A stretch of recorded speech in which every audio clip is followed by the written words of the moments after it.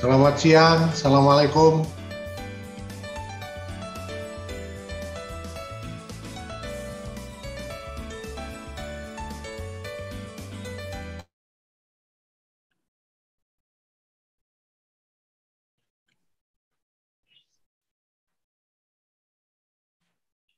Assalamualaikum warahmatullahi wabarakatuh. Salam sejahtera bagi kita semua. Om Swastiastu, Namo Buddhaya, salam kebajikan. Selamat siang dan salam sehat untuk kita semua Bapak Ibu hadirin yang berbahagia. Kita berjumpa dalam webinar diskusi publik di siang hari ini. Dan masih dengan isu yang menarik mengenai peternakan sapi potong di Provinsi Jawa Timur. Oleh karena itu, topik webinar diskusi publik kita membawakan tema menjadikan Jawa Timur sebagai sentra produksi sapi potong nasional. Kegiatan webinar diskusi publik ini dapat terselenggara berkat kerjasama IC Cabang Surabaya Koordinator Jawa Timur dengan Bank Indonesia. Perkenankan saya Wilma Cordelia Isak selaku pembawa acara menghaturkan selamat datang dan selamat bergabung kepada yang kami hormati Bapak Harmanta selaku Deputi Kepala Perwakilan Bank Indonesia Provinsi Jawa Timur. Yang kami hormati Bapak Dr. Eko Purwanto SEMSI selaku Ketua IC Cabang Surabaya Koordinator Jawa Timur dan yang kami hormati kepada seluruh pembicara pada webinar siang hari ini, Bapak Profesor Dr. Insinyur Mulatno MSA, Guru Besar Fakultas Peternakan IPB, yang kami hormati Bapak Joni Liano, selaku Direktur Utama Gapus Pindo atau Gabungan Pelaku Usaha Peternak Sapi Potong Indonesia, dan yang kami hormati Bapak Rahmat Cahyadi selaku peneliti ISEI Surabaya, serta Bapak Daniel Mawan PhD selaku moderator. Dan tentunya kami juga menghaturkan selamat bergabung bagi seluruh peserta webinar diskusi publik siang hari ini yang mengikuti langsung melalui Zoom meeting maupun melalui YouTube channel kami dengan nama ISEI Surabaya. Baiklah Bapak Ibu hadirin yang berbahagia, kita akan memasuki rangkaian acara yang pertama, Bapak Ibu hadirin, kami mohon dalam sikap sempurna, kita akan menyanyikan lagu Indonesia Raya.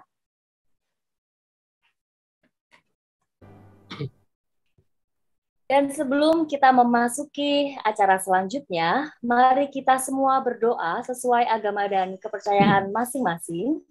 Dan mari kita juga mendoakan saudara-saudara kita yang terkena musibah bencana alam Gunung Semeru.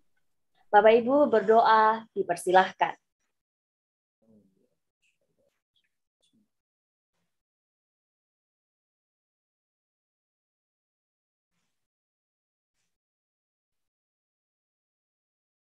Berdoa selesai.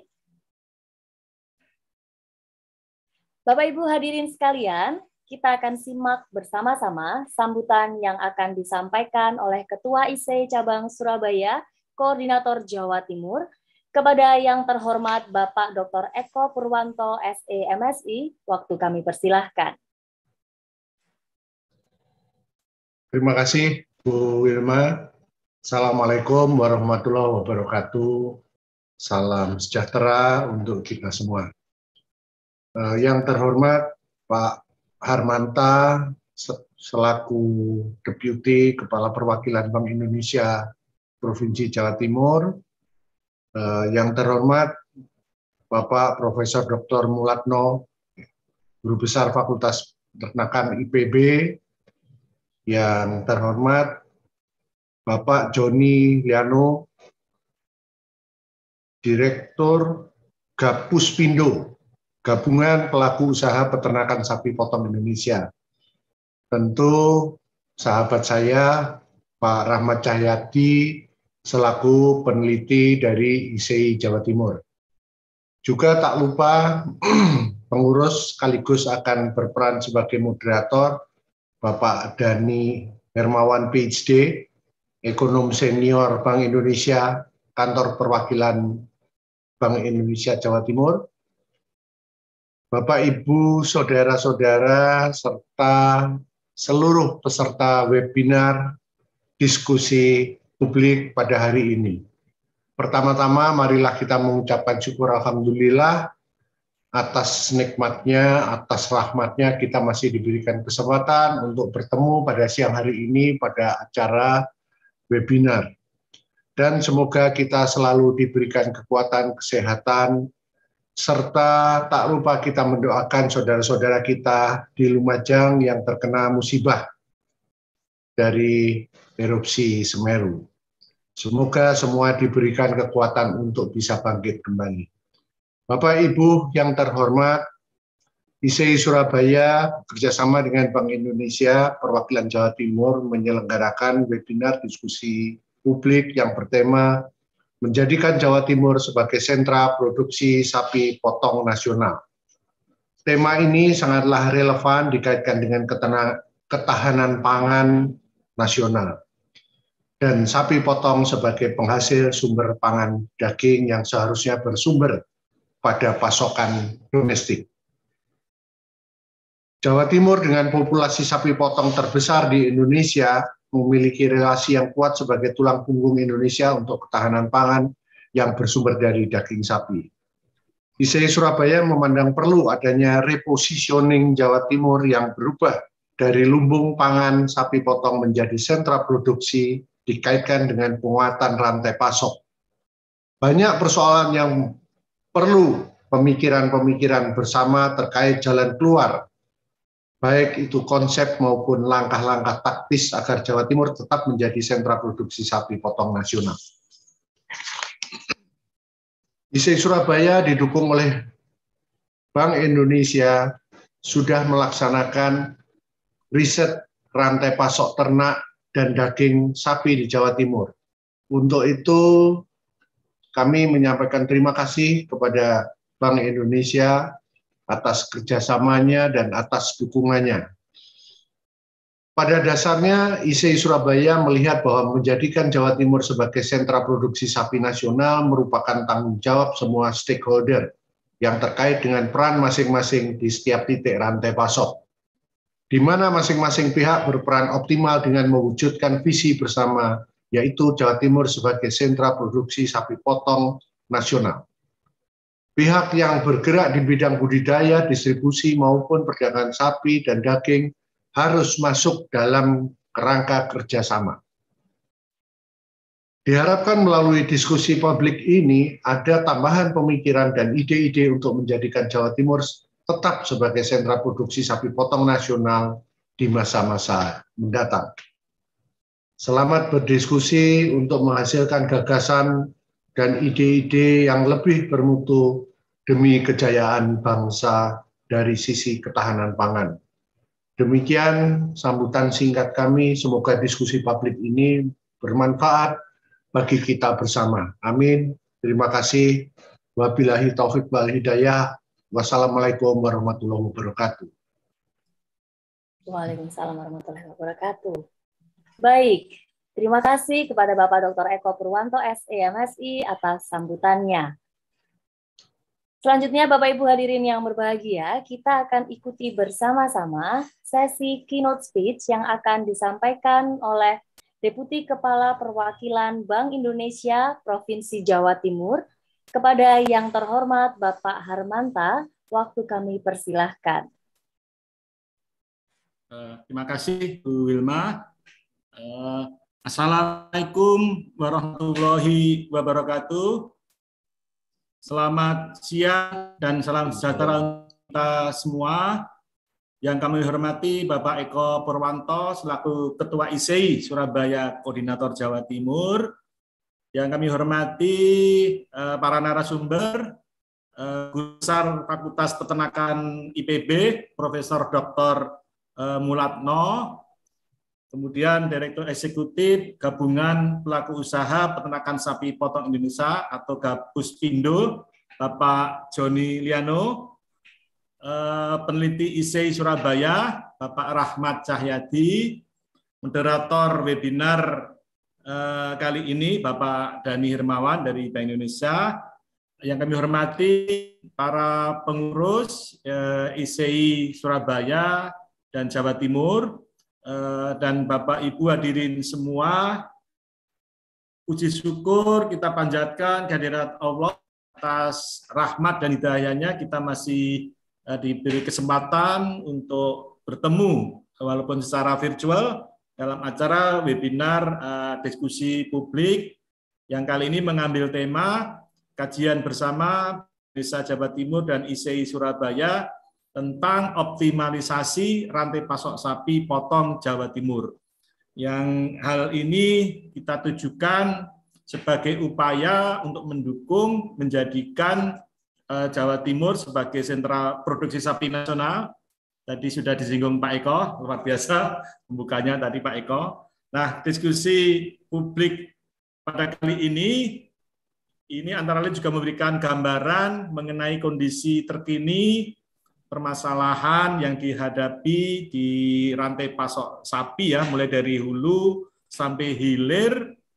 Dan kami memandang ada tiga perspektif yang bisa diangkat, yaitu bahwa potensi Jawa Timur sebagai lumbung pangan Nusantara, kemudian eh, peningkatan ketahanan pangan Jawa Timur, terutama aspek ketersediaan dan keterjangkauan, serta dalam konteks untuk mengurangi eh, inflasi pangan Jawa Timur ini karena komoditi sapi ini lumayan besar ini share-nya terhadap apa kestabilan eh, nilai rupiah.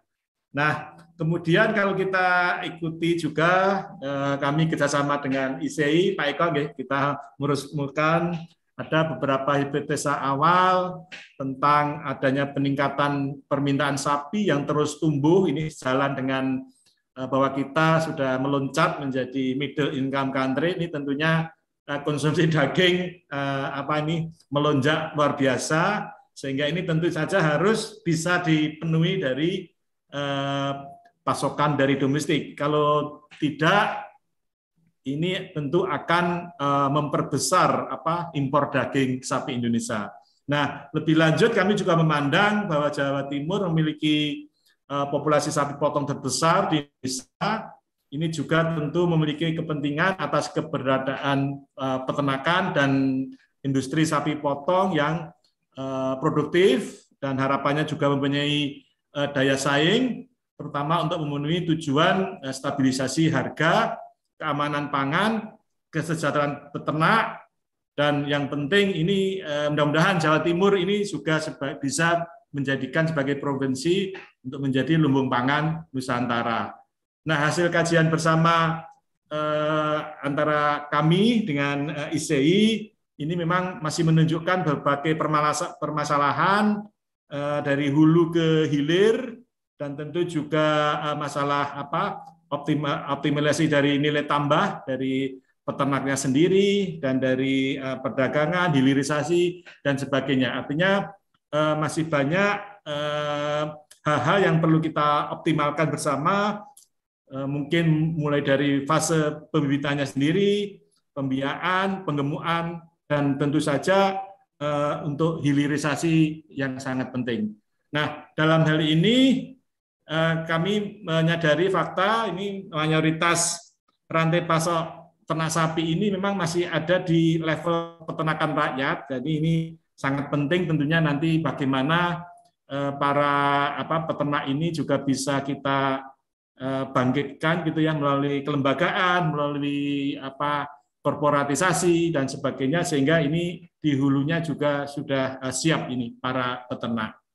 Nah, dari berbagai apa kajian ini tentu saja harapan kita bersama bisa ada suatu rekomendasi yang intinya adalah untuk membangun sistem ekosistem usaha peternakan sapi potong yang eh, efisien, yang berproduktivitas, yang kualitas dan tentu juga berdaya saing. Dalam hal ini eh, tentu dibutuhkan perbaikan mulai dari hulu seperti alat pendataan sapi potongnya, kemudian eh, roadmap, roadmap penguatan peternakan sapi, sampai dengan penguatan rantai pasok sapi potong yang terintegrasi tentu juga dengan eh, melalui standarisasi rumah potong hewan dan sebagainya dan sebagainya. Nah, kami sebagai sharing Bapak Ibu uh, ada apa membina apa model bisnis klaster sapi ini di kami di Kabupaten Tuban dan alhamdulillah kemarin dalam acara pertemuan tahunan Bank Indonesia di kantor pusat klaster kami uh, mendapatkan ini mendapat award lah mendapat satu award dari Bank Indonesia Pusat. Nah, ini modelnya kita bangun mulai dari korporatisasi di peternakannya, ada kelembagaannya lewat kooperasi, itu ya. Terus kemudian juga apa eh, klaster sapi kami ini juga eh, bisa apa mengelola RPH tadi disebut ya dalam diskusi kita sebelum ini. eh, dan dan tentu juga hilirisasi dari dari klaster kami yang di ini tentu eh, monggo nanti eh, barangkali ini juga bisa direplikasi untuk kabupaten lain. Tadi kami mendengar juga dari Pak Joni Liano Pak Nggih untuk tadi salah satunya disinggung Probolinggo dan dan berbagai daerah di Jawa Timur. Monggo kami eh, tentu akan sangat senang kalau bisa berkolaborasi, bisa bersinergi dengan eh, para Bapak Ibu semua. Nah, akhir kata eh, semoga webinar diskusi publik di siang ini Eh, kita dapat bersinergi utamanya antara dunia apa akademis, kemudian policy maker dan pelaku untuk menyamakan langkah eh, mendukung eh, akselerasi pembangunan daerah khususnya melalui optimalisasi dari rantai pasok sapi potong di Jawa Timur. Ini juga kami di Jawa Timur ini juga penting karena Jawa Timur juga sebagai sentra produksi sapi nasional. Selanjutnya kami ucapkan untuk selamat mengikuti webinar ini. Semoga uh, ini juga bisa melahirkan rekomendasi-rekomendasi baik yang bersifat kugin yang bisa kita laksanakan bersama maupun yang bersifat uh, menengah jangka panjang yang lebih struktural. Tentu uh, sekali lagi kalau dengan ICI Pak Eko tentu kami menyambut baik ini kerjasama ini ke depan ke depan harapannya kita masih bisa terus bersinergi terus berkolaborasi untuk selalu bekerja eh, sama untuk mengoptimalkan juga nih eh, pemulihan ekonomi pasca pandemi. Demikian yang dapat Siap, kami sampaikan. Iya, dapat kami sampaikan, kami eh, akhiri. Bila petik daya, wassalamualaikum warahmatullahi wabarakatuh. Waalaikumsalam warahmatullahi wabarakatuh. Terima kasih Bapak Hermanta selaku Deputi Kepala Perwakilan Bank Indonesia Provinsi Jawa Timur atas keynote speech yang telah disampaikan. Baiklah Bapak Ibu hadirin yang berbahagia, kita akan eh, selanjutnya kita akan melakukan sesi foto bersama. Kami harapkan dan kami mohon dengan sangat Bapak Ibu seluruh peserta webinar diskusi publik eh, hari ini untuk menyalakan fitur kamera Bapak Ibu sekalian karena nanti salah satu dari panitia kami akan mengambil uh, foto bersama. Di sini kurang lebih ada 7 sampai dengan 8 lembar, kurang lebih. Saya akan menghitung dari lembar yang pertama, 1 2 3. Baik, lembar yang selanjutnya atau halaman yang selanjutnya. 1 2 3. Halaman yang ketiga. Ya. Selanjutnya halaman atau lembar yang keempat Bapak Ibu. Kami mohon dengan sangat untuk uh, mengaktifkan atau menyalakan kamera Bapak Ibu sekalian. Lembar yang ke-6.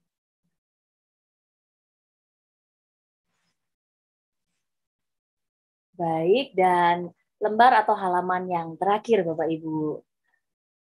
Satu, dua, tiga. Baiklah. Terima kasih Bapak Ibu atas kesediaannya sudah uh, mengaktifkan fitur kamera Bapak Ibu sekalian. Dan selanjutnya kita akan memasuki rangkaian acara yang utama, yaitu pemaparan dari para uh, pembicara kita pada webinar diskusi publik di siang hari ini. Dan tentunya akan dipandu penuh oleh moderator kita.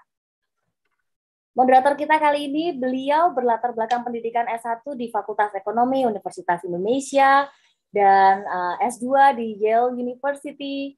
Untuk pendidikan S3 di Cornell University Dan beliau selain selaku pengurus IC Surabaya, beliau juga selaku ekonom senior di Bank Indonesia KPW Jawa Timur. Kepada yang terhormat Bapak Dani Hermawan PhD, waktu kami persilahkan. Oke, terima kasih banyak uh, perkenalannya Mbak Milma. Uh, Assalamualaikum warahmatullahi wabarakatuh. Salam sejahtera bagi kita semua. Puji syukur kehadirat Allah Subhanahu wa taala kita dapat berkumpul pada siang hari ini uh, pada acara diskusi publik yang sebenarnya intinya adalah pemaparan hasil final penelitian bersama ya. Paparan hasil penelitian bersama uh, kerjasama antara Bank Indonesia Provinsi Jawa Timur dan ISEI Surabaya Koordinator Jawa Timur terkait optimalisasi uh, industri sapi potong ya uh, dengan uh, konteks tentu saja bagaimana menjadikan Jawa Timur sebagai sentra produksi sapi potong nasional ya. Dalam hal ini uh, pada siang hari ini kami uh, beruntung sekali ya beruntung sekali mendapatkan narasumber yang uh, sangat uh, kompeten uh, di bidangnya. Ya, uh, izin saya perkenalkan uh, pembicara pertama nanti adalah uh, Profesor Dr. Insinyur Mulatno, MSA, guru besar dari Fakultas Peternakan Institut Pertanian Bogor. Uh, beliau memang uh, sangat senior ya, sangat senior dan sangat mumpuni di bidang uh, peternakan ya.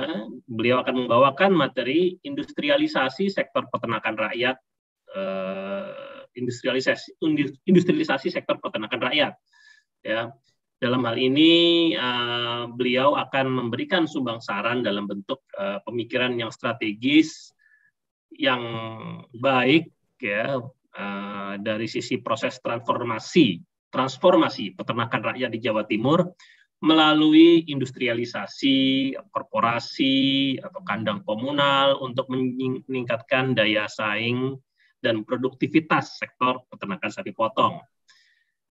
Giliran berikutnya kita juga beruntung ya, berhasil mendatangkan Pak Joni Liano. Beliau adalah Direktur Eksekutif dari Gapus Pindo atau Gabungan Pelaku Usaha Peternakan Sapi Potong Indonesia. Ya, beliau akan menyampaikan terobosan-terobosan upaya peningkatan populasi sapi potong. Ya, karena memang uh, dimensi peningkatan populasi sapi potong ini hulu hilir ya, baik dari sisi breeding, iring maupun fattening ya, dari sisi breeding ya, pembiakan sampai dengan penggemukan. Dan terakhir tentu saja nggak lain dan nggak bukan adalah Pak Rahmat Cahyadi. Beliau ini ada kolega riset uh, di ISEI uh, Surabaya Koordinator Jawa Timur ya yang memang beliau adalah uh, uh, ahli uh, field experiment ya beliau adalah ahli field experiment dan beliau akan memaparkan hasil final penelitian bersama uh, Bank Indonesia Jawa Timur bersama ISEI Surabaya Koordinator Jawa Timur dalam bentuk sumbang saran, dalam bentuk pemikiran bagaimana memperbaiki rantai pasok sapi potong di Jawa Timur, baik eh, dari sisi budidaya sapi potongnya sendiri maupun dari manajemen distribusi daging eh, potongnya sendiri, eh, daging sapi potongnya sendiri.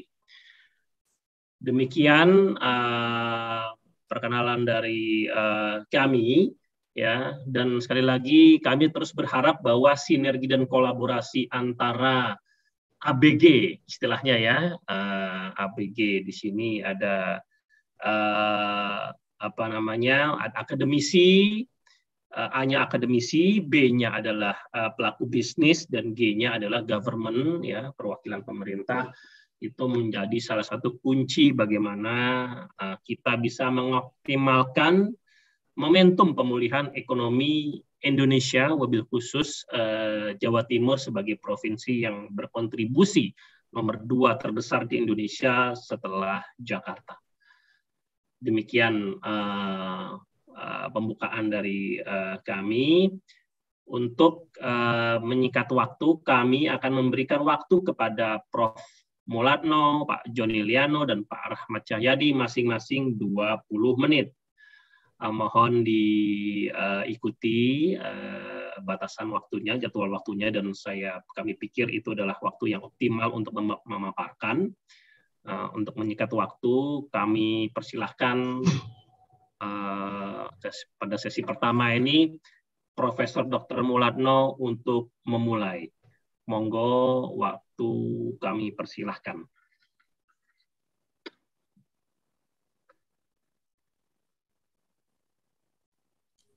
Masih mute Bapak. Masih mute Pak. Di unmute.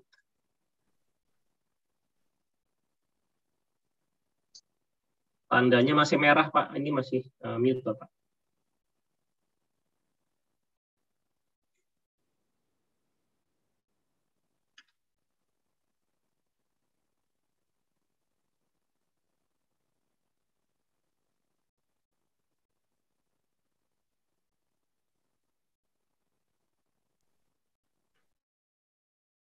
Eh, nah, Baik, terima kasih. Mohon maaf tadi saya tidak bisa unmute karena di, dilarang oleh hostnya. Terima kasih Pak Dani atas perkenalkannya. Terima kasih kepada Pak uh, Hermanta, Pak Eko, dan sahabat saya Pak Joni. Uh, kepada juga pada MC, uh, eh, terima kasih juga. Dan para hadirin Bapak Ibu yang saya hormati, Uh, untuk tentu yang pertama kali saya ucapkan terima kasih diundang di komunitas orang yang bukan peternakan dan itu sangat uh, sangat sangat senang saya diundang oleh orang-orang yang bukan peternakan sehingga paling enggak bisa mendapatkan pemikiran-pemikiran yang uh, lain begitu. Uh, ini saya izin share. Oke, okay. uh, sebentar. Waduh. Ya kalau lama Pak, Pak Budi tolong di di-sharekan aja Pak kalau gitu Pak. Ini ternyata belum siap di sini saya. Oke Pak Budi. Iya baik Pak. Ya maaf, tapi ternyata Oke, uh, sesuai permintaan saya me saya menyampaikan pemikiran untuk industrialisasi sektor peternakan rakyat dan saya senang menempatkan diri saya bukan sebagai dosen tetapi sebagai perwakilan peternak rakyat yang mempunyai satu atau dua ekor sapi. Ya, itulah kenapa saya di sini uh, mendapat jabatan terhormat sebagai wali utama Solidaritas Alumni SPR Indonesia. Ini kumpulan orang-orang peternak-peternak kecil, Pak, yang me, me, yang mendominasi kepemilikan ternak di Indonesia. 98 persen ternak sapi di Indonesia itu dimiliki oleh peternak-peternak kecil seperti itu.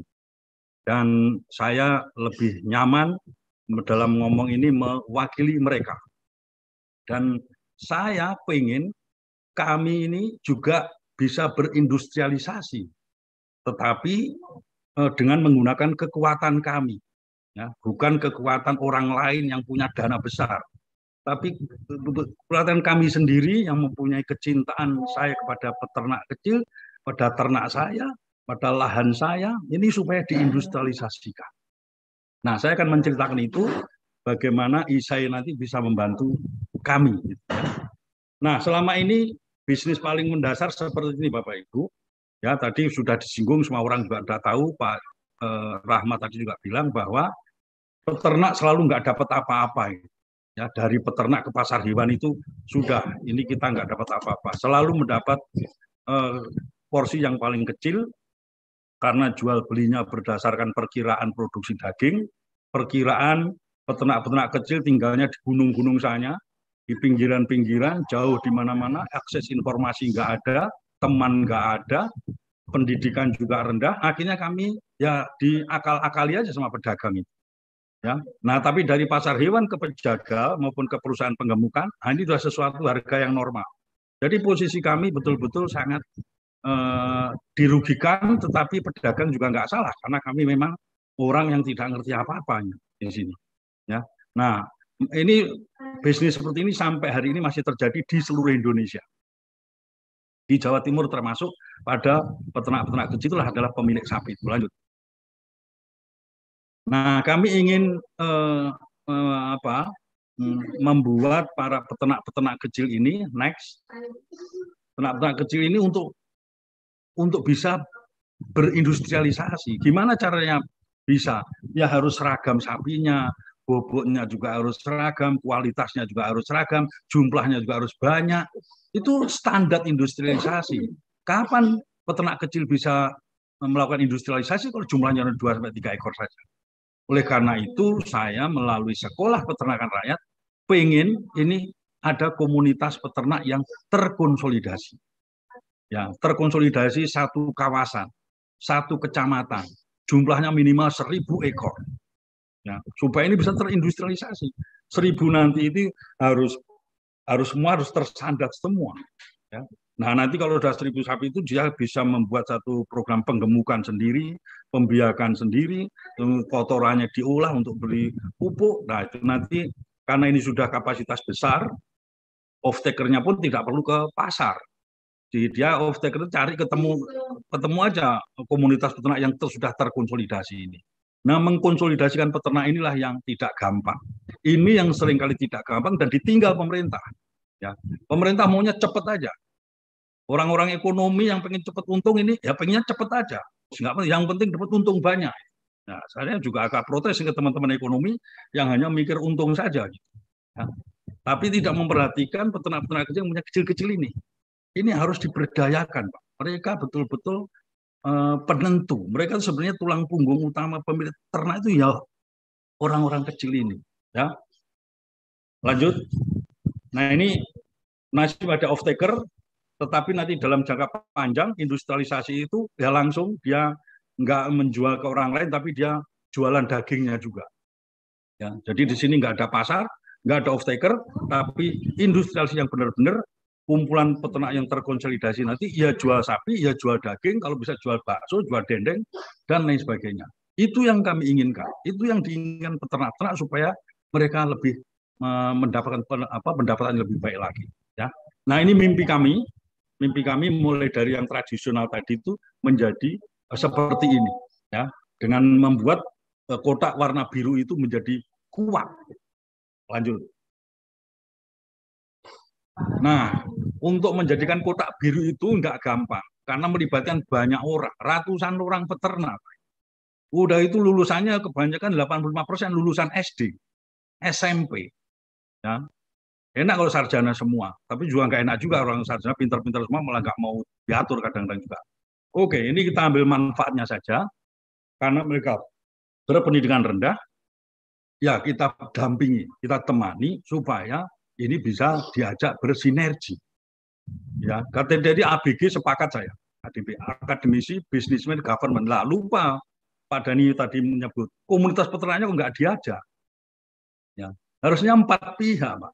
Ini seolah selalu komunitas ini diremehkan terus, ya. Padahal itu yang menentukan. Nah ini kita samakan, Pak. Komunitas peternak itu posisinya harus disetarakan dengan ABG tadi.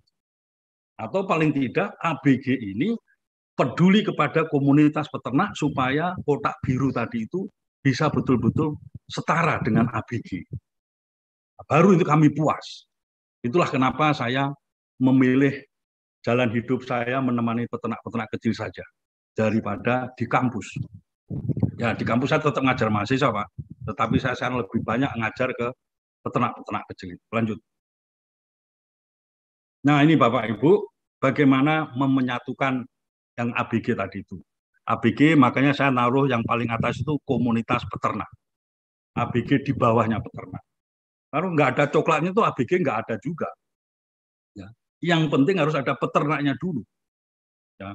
Nah, mari kita jadikan Jawa Timur menjadi sentra. Siapa yang bisa menjadikan sentra? Ya peternak kecil-kecil itu. Ya, mereka yang harus menjadi target utama. Selama ini terus terang mereka hanya disalahkan saja. Ini peternak kecil, enggak seragam, sapinya kurus-kurus. Kalau diimpor, kalau dibeli ke apa ke feedlotter, susahnya minta ampun. ya harus adaptasi dua bulan karena liar semua. Ya. Nah, kekurangan-kekurangan inilah yang kemudian akan kami lakukan, Bapak. Ya, bagaimana sekarang ini yang peternak jalan sendiri, perguruan tinggi jalan sendiri, pemerintah kabupaten jalan sendiri, perusahaan jalan sendiri. Itu yang terjadi sampai hari ini. Nah, bagaimana ABG, ABGC, komunitas peternak itu benar-benar bisa bersinergi. Ini saya ajarkan melalui sekolah peternakan rakyat eh, menjadi yang kotak di di atas itu ya ada peternak peternak itu yang paling tengah itu di dikepung oleh Pemkap kemudian perguruan tinggi dan perusahaan. Ya, nah, bagaimana caranya? Ini sekolah intinya kami mengajarkan lewat sekolah tengah rakyat. Kalau ini diceritakan nanti bisa sehari sendiri. Jadi saya lewatin aja. Pokoknya sudah berhasil. Nanti saya ceritakan eh, mana yang yang bisa berhasil. Akibatnya itu menghasilkan semangat gotong royong. Jadi nanti di sini semangat gotong royong di sini adalah peternaknya berbisnis secara kolektif berjamaah, Pak. Ya, jadi yang kotak biru peternak terkonsolidasi itu mereka menjadi bisa berbisnis berjamaah. Perguruan tingginya menjadi lembaga litbang bagi komunitas itu. Pemerintah kabupaten merupakan regulasi yang pro peternak dan perusahaan menjadi mitra off takernya peternak. Nah, baru ini bisa hidup, Pak. Baru peternak kecil itu bisa dikembangkan dan Jawa Timur sebagai yang yang banyak populasi bisa dikembangkan lagi maksud saya. Berarti harus melalui cara-cara itu lanjut.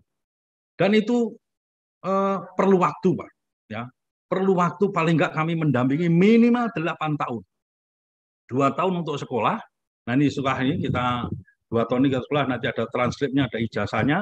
Nah setelah lulus mereka mereka menjadi anggota SASPRI. SASPRI itu Solidaritas Alumni SPR Indonesia.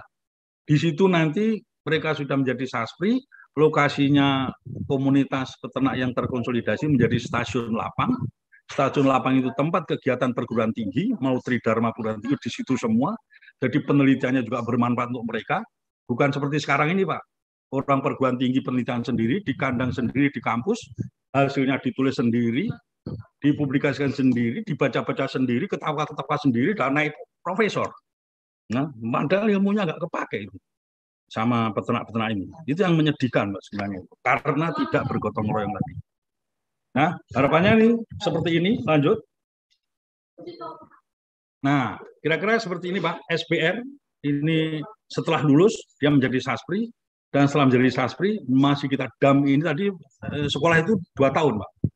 Nah, nanti kalau sudah saspri kita damping lagi enam tahun supaya betul-betul mereka menjadi uh, peternak yang betul-betul uh, mampu untuk bisa mandiri berdaya saing berdaulat melalui empat sinergi empat pihak tadi itu. Pemerintah harus mendampingi peternak, perguruan tinggi juga harus mendampingi peternak. Pengusahanya juga menjadi off taker yang permanen. Lanjut. Nah ini bukti bahwa bisnis kolektif berjalan setelah kami lakukan ini nyata hampir 14 miliar. 14 miliar bisa ters, tersalur di Saspri, Salah satunya di Bojonegoro, di mana Pak Rahmat juga telah melihat di sana. Yang terbaik sampai ini di Ngadilwe, saya juga terima kasih pada Bank Indonesia telah memberikan truk kepada uh, Saspri Ngadilwe. Uh, truk senilai 100 juta ini karena karena uh, dia dap, apa, dapat hibah dari sana dan itu sangat membantu peternak. Lanjut, ini hampir 14,5 miliar Pak terkumpul dengan hasil kemitraan seperti ini Pak. Ya, menurut saya lebih menurut saya bagus ini jumlah peternak yang bermitra 287 ini peternak, jumlah ternaknya itu 370 ekor, kambingnya 275, yang mati hanya satu ekor selama tujuh tahun. Ya, satu ekor sapi dan satu ekor kambing. Ini keuntungan pemitranya rata-rata 2, eh rata-rata 1,31 persen per bulan. Sedangkan pendapatan peternak rata-rata 11 ribu. Nah, mereka juga semakin kompak. Ya. Nah, ini perlu kita perbanyak dan kami perlu dukungan dari teman-teman ISAI untuk paling nggak menyisihkan uh, uangnya untuk bisa bermitra dengan uh, alumni-alumni SPR yang tergabung dalam SASPI ini. Lanjut. Nah, kenapa kami mendembangi enam tahun, Bapak Ibu? Karena tadi itu, begitu lulus, mereka masih belum apa-apa. Kita beli sertifikat Natalia, nah sertifikat anak yang baru lahir. Baru lahir sebagai apa ya? Baru lahir sebagai industriawan peternak. Kira-kira begitulah. Ya nggak nggak ngerti apa-apa dia, masih belum ngerti. Tapi dia sudah ngerti makna berjamaah.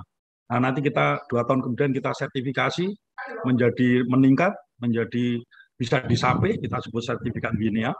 Dua tahun kemudian kita sertifikasi lagi, bisa prematura menjelang dewasa. Dua tahun lagi kita menjadi matura, insya Allah nanti kita dilepas, mudah-mudahan bisa bisa membangun industri yang nanti bisa kami tunjukkan nanti, walaupun masih sangat sederhana. Lanjut. Nah ini sertifikat uh, Winia yang di Ngadiluwe. Jadi kami mendidik sekolah peternakan rakyat itu sudah 8 tahun sejak 2013, 7, 8 tahun ya 2013. Dari 55 SP Pak sudah lulus 19. Dari 19 kita lakukan sertifikasi terhadap 6 6 saspri yang sudah lulus tadi itu. Dari 6 saspri yang lulus hanya tiga yang tiga tidak lulus, yang harus ngulang lagi, dan dari tiga ini yang terbaik di Ngadiluwe. Dengan sertifikat bintang dua, dia eh, eh, dapat penilaian di atas ekspektasi. Next. Dan oleh karena itu mereka mendapatkan eh, apa ya sertifikat sebagai pemegang sertifikat binia termaju. Di antara tiga tadi dia nilainya terbaik, dan itu terjadi di Ngadului Kediri. Pak Rahmat kami undang ke sana kalau punya waktu, Pak Dani atau Pak Eko juga, Pak Hermana, monggo Pak, untuk uh, melihat dari dekat supaya industrialisasi di peternak itu bisa bisa juga dimulai. Lanjut. Nah, kira-kira begini, Bapak Ibu, ketika komunitas peternak sudah terkonsolidasi melalui pendidikan hampir 8 tahun, eh, pendidikan 2 tahun, pendampingan 6 tahun, jadi 8 tahun Bapak Ibu, ini yang harus kita pikirkan, uh, supaya nanti bisa berdampingan dengan ABG tadi itu. Nah ini gotong royong institusional, Pemkap sebagai regulator, universitas sebagai edukator dan iptek developer itu selalu terus begitu dan off taker sebagai penjamin pasar dan peternak sebagai produser ternak. Insya Allah dengan cara seperti ini, hanya dengan cara gotong royong seperti ini, industrialisasi peternak rakyat yang mandiri, berdaya sing dan itu akan bisa terjadi. Lanjut. Nah ini contoh Pak, ini contoh dengan Diluwe. Sudah puluhan tahun Pak, mereka itu hanya ngarit, ngarit, dan ngarit. Nah setelah dia menjadi anggota SASPRI, lulus dari SPR, mereka sekarang bisa bisnis pakan. Ya, ini pakan ini adalah jagung yang di uh, jagung apa jagung dan batangnya dan daunnya dan bijinya itu kemudian dicacah kemudian disilase gitu aja ini disebut silase jagung dan ini bisa menaikkan uh, eh, ADG-nya kira-kira satu uh, satu kilo itu pak untuk sapi lokal. Dari ngarit-ngarit saja setelah mereka dapat pengalaman mereka mencoba-coba ini. Ya, ini terpaksa itu disembelih di rumahnya di kandang belakang, tidak di RPA.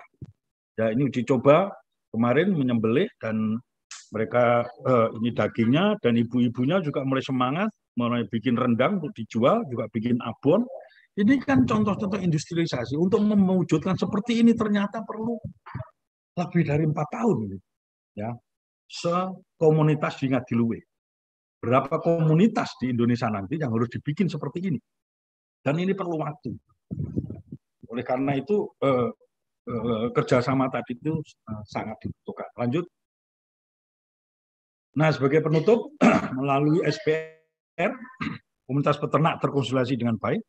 Bersama SASPRI, komunitas peternak terus maju dan berkembang lebih profesional hanya dengan persatuan dalam kebersamaan, industrialisasi peternakan rakyat dapat dijalankan melalui ABG tadi itu. Peternak nggak bisa ditinggal sendiri.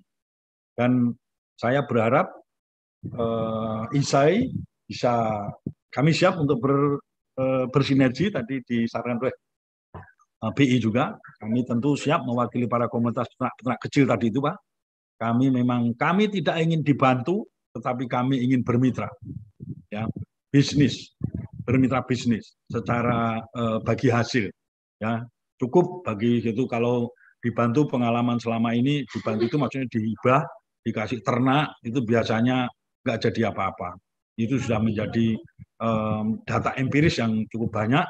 Tetapi melalui Saspri ini uh, cukuplah untuk bermitra kami akan bisa uh, mandiri nanti makin lama itu saya sampaikan itu saja, eh, waktu juga sudah habis, dan diskusi amat kami saya harapkan apabila ada kata-kata yang kurang berkenan, saya mohon maaf, tapi poinnya eh, kami mewakili para peternak-peternak kecil, terima kasih setelah dianggap, diajak untuk eh, membangun Jawa Timur sebagai sentra peternakan rakyat di Indonesia.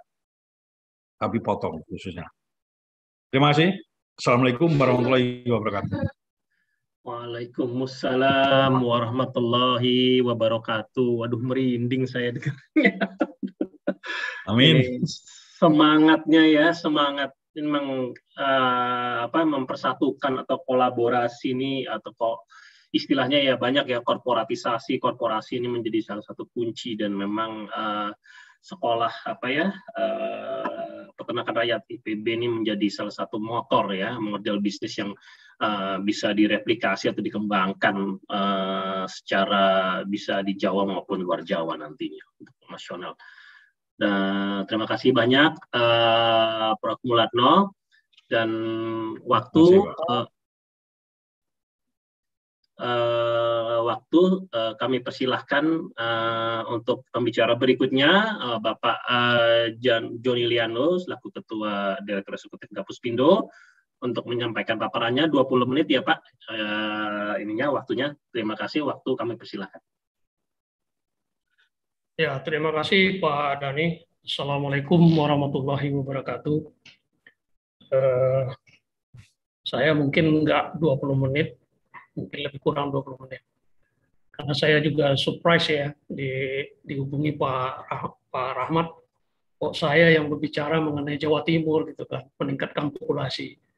Apakah saya berpengalaman 30 tahun sebagai uh, pegawai Kementerian Pertanian atau memang 10 tahun berpengalaman di Gapus Pindo gitu kan sebagai uh, direktur eksekutif uh, dari pelaku usaha.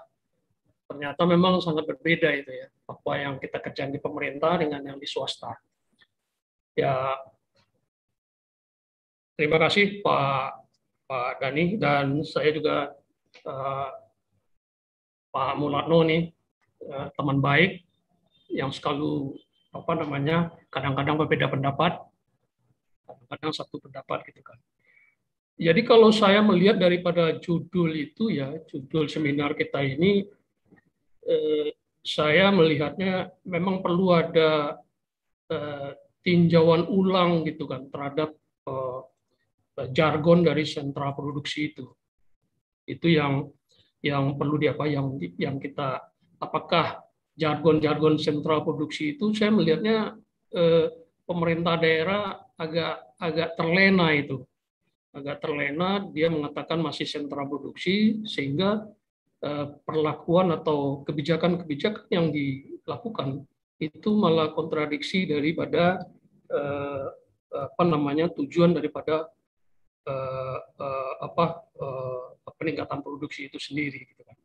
Nah, ini mungkin apakah jagon-jagon itu indikatornya itu masih populasi di tingkat nasional, share-nya berapa, apakah itu gitu kan, atau memang dia udah seswambada di provinsinya itu sendiri gitu kan ini perlu juga kita apakan kita kita ingatkan lah karena saya nanti akan menyampaikan beberapa data ternyata eh, ada beberapa yang perlu di di di, di apa di di apa namanya dikhususkan untuk eh, melihat kebijakan-kebijakan apa yang akan diberikan di, akan dilakukan nantinya.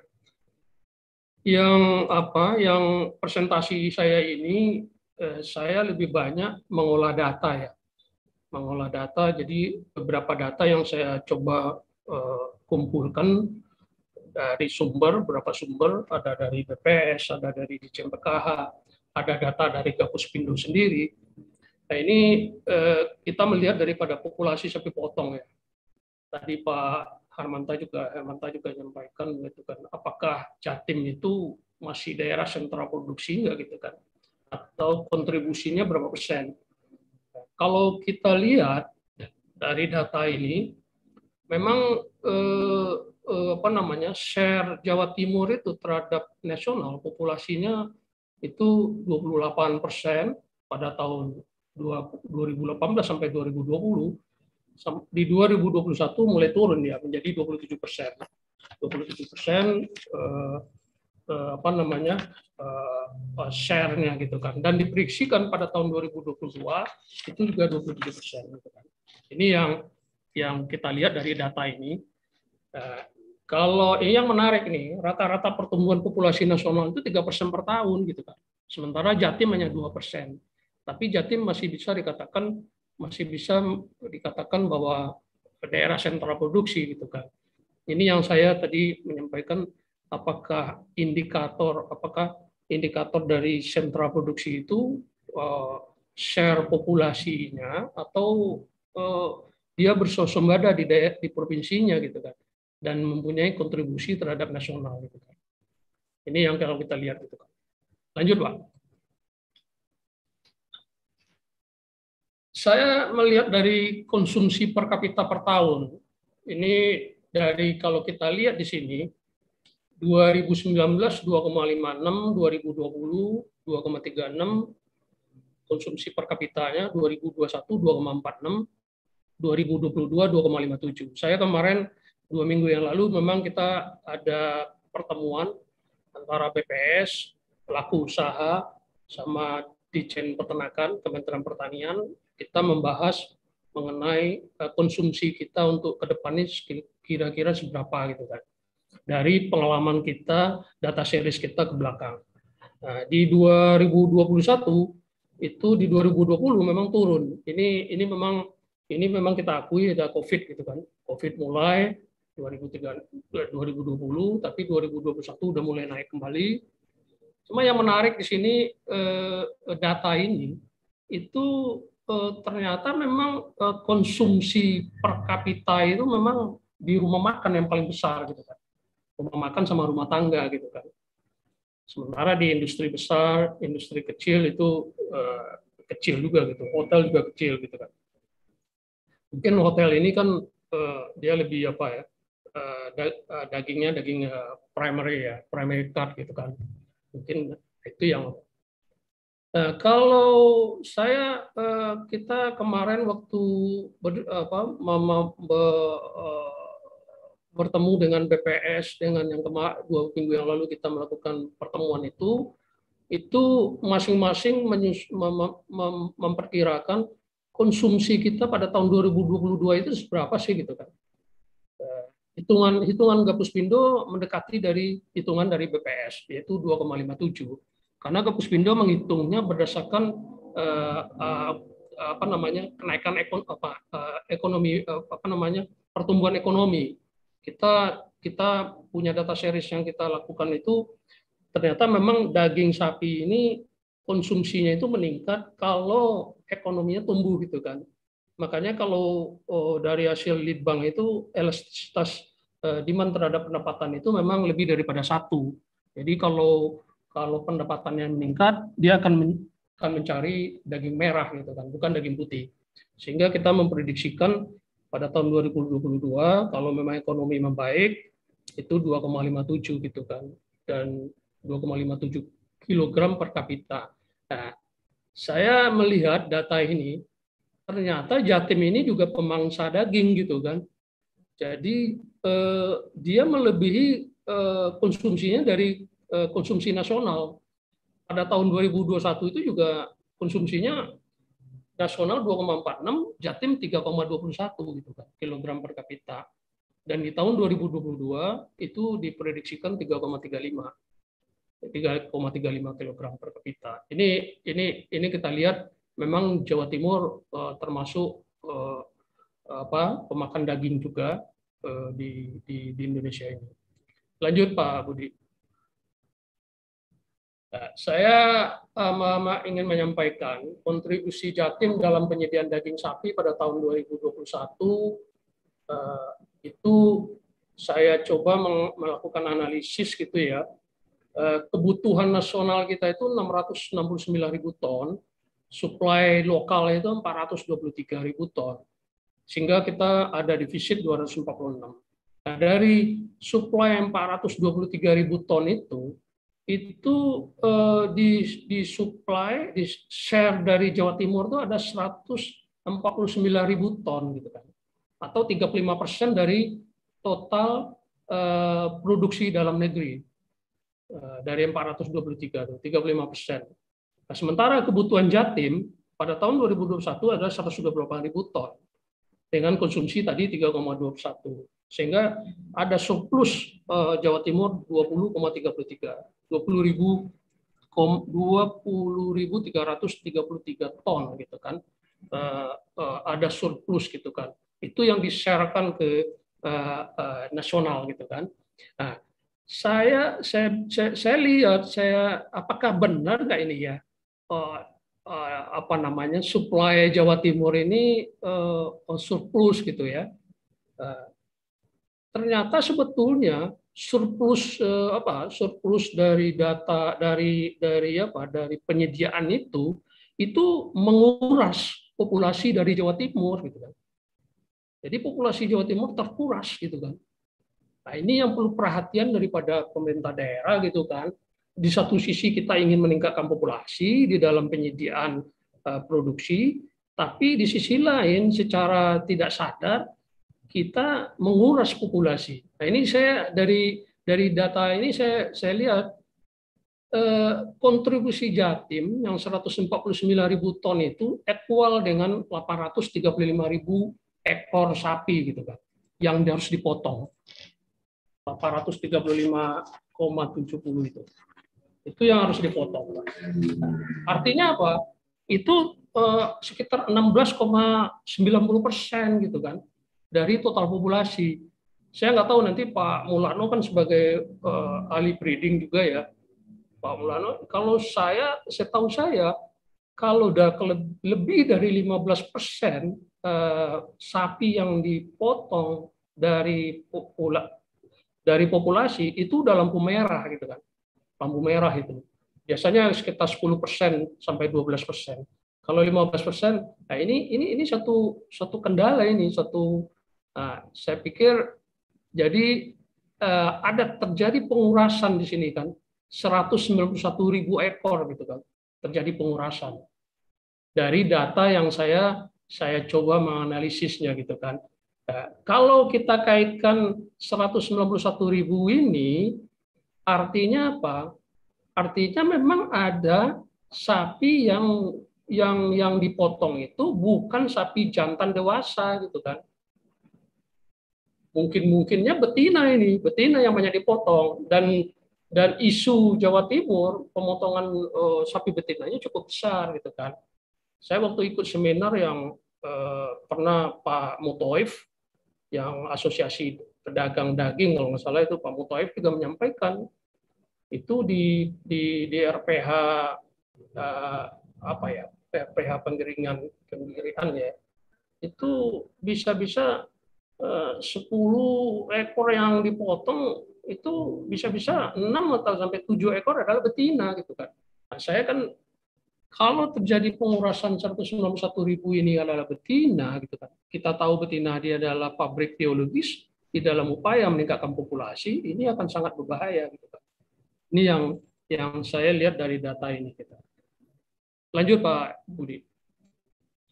Ini data yang apa yang yang yang yang yang provinsi-provinsi yang defisit ada sekitar 22 itu yang yang yang yang surplus ada sekitar 12 provinsi termasuk Jawa Timur. Memang Jawa Timur uh, surplusnya uh, yang paling besar gitu kan.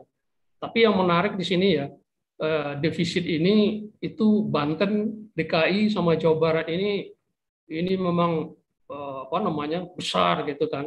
Dan kita juga tahu memang mereka tidak punya lahan dan tidak punya peternak juga gitu ya nggak punya lahan untuk memang di sini daerahnya daerah konsumsi gitu kan bukan daerah produsen. Nah ini merupakan ini sebetulnya eh, apa namanya eh, opportunity juga bagi Jawa Timur yang punya potensi lahan dan potensi sapi populasinya besar gitu kan bisa mengisi defisit ini selama ini defisit ini diisikan oleh uh, daging gitu ya, daging impor dan juga sapi-sapi bakalan impor gitu kan. Nah, ini kan kalau menurut saya ini satu tantangan juga bagi daerah-daerah ini, daerah sentra produksi, terutama Jawa Timur gitu kan. Jawa Timur eh, yang mengalami surplus sebesar 20 ribu itu tadi yang saya katakan ini perlu di, di apa ya ditinjau ulang gitu, dilihat kembali lah. Lanjut, Pak.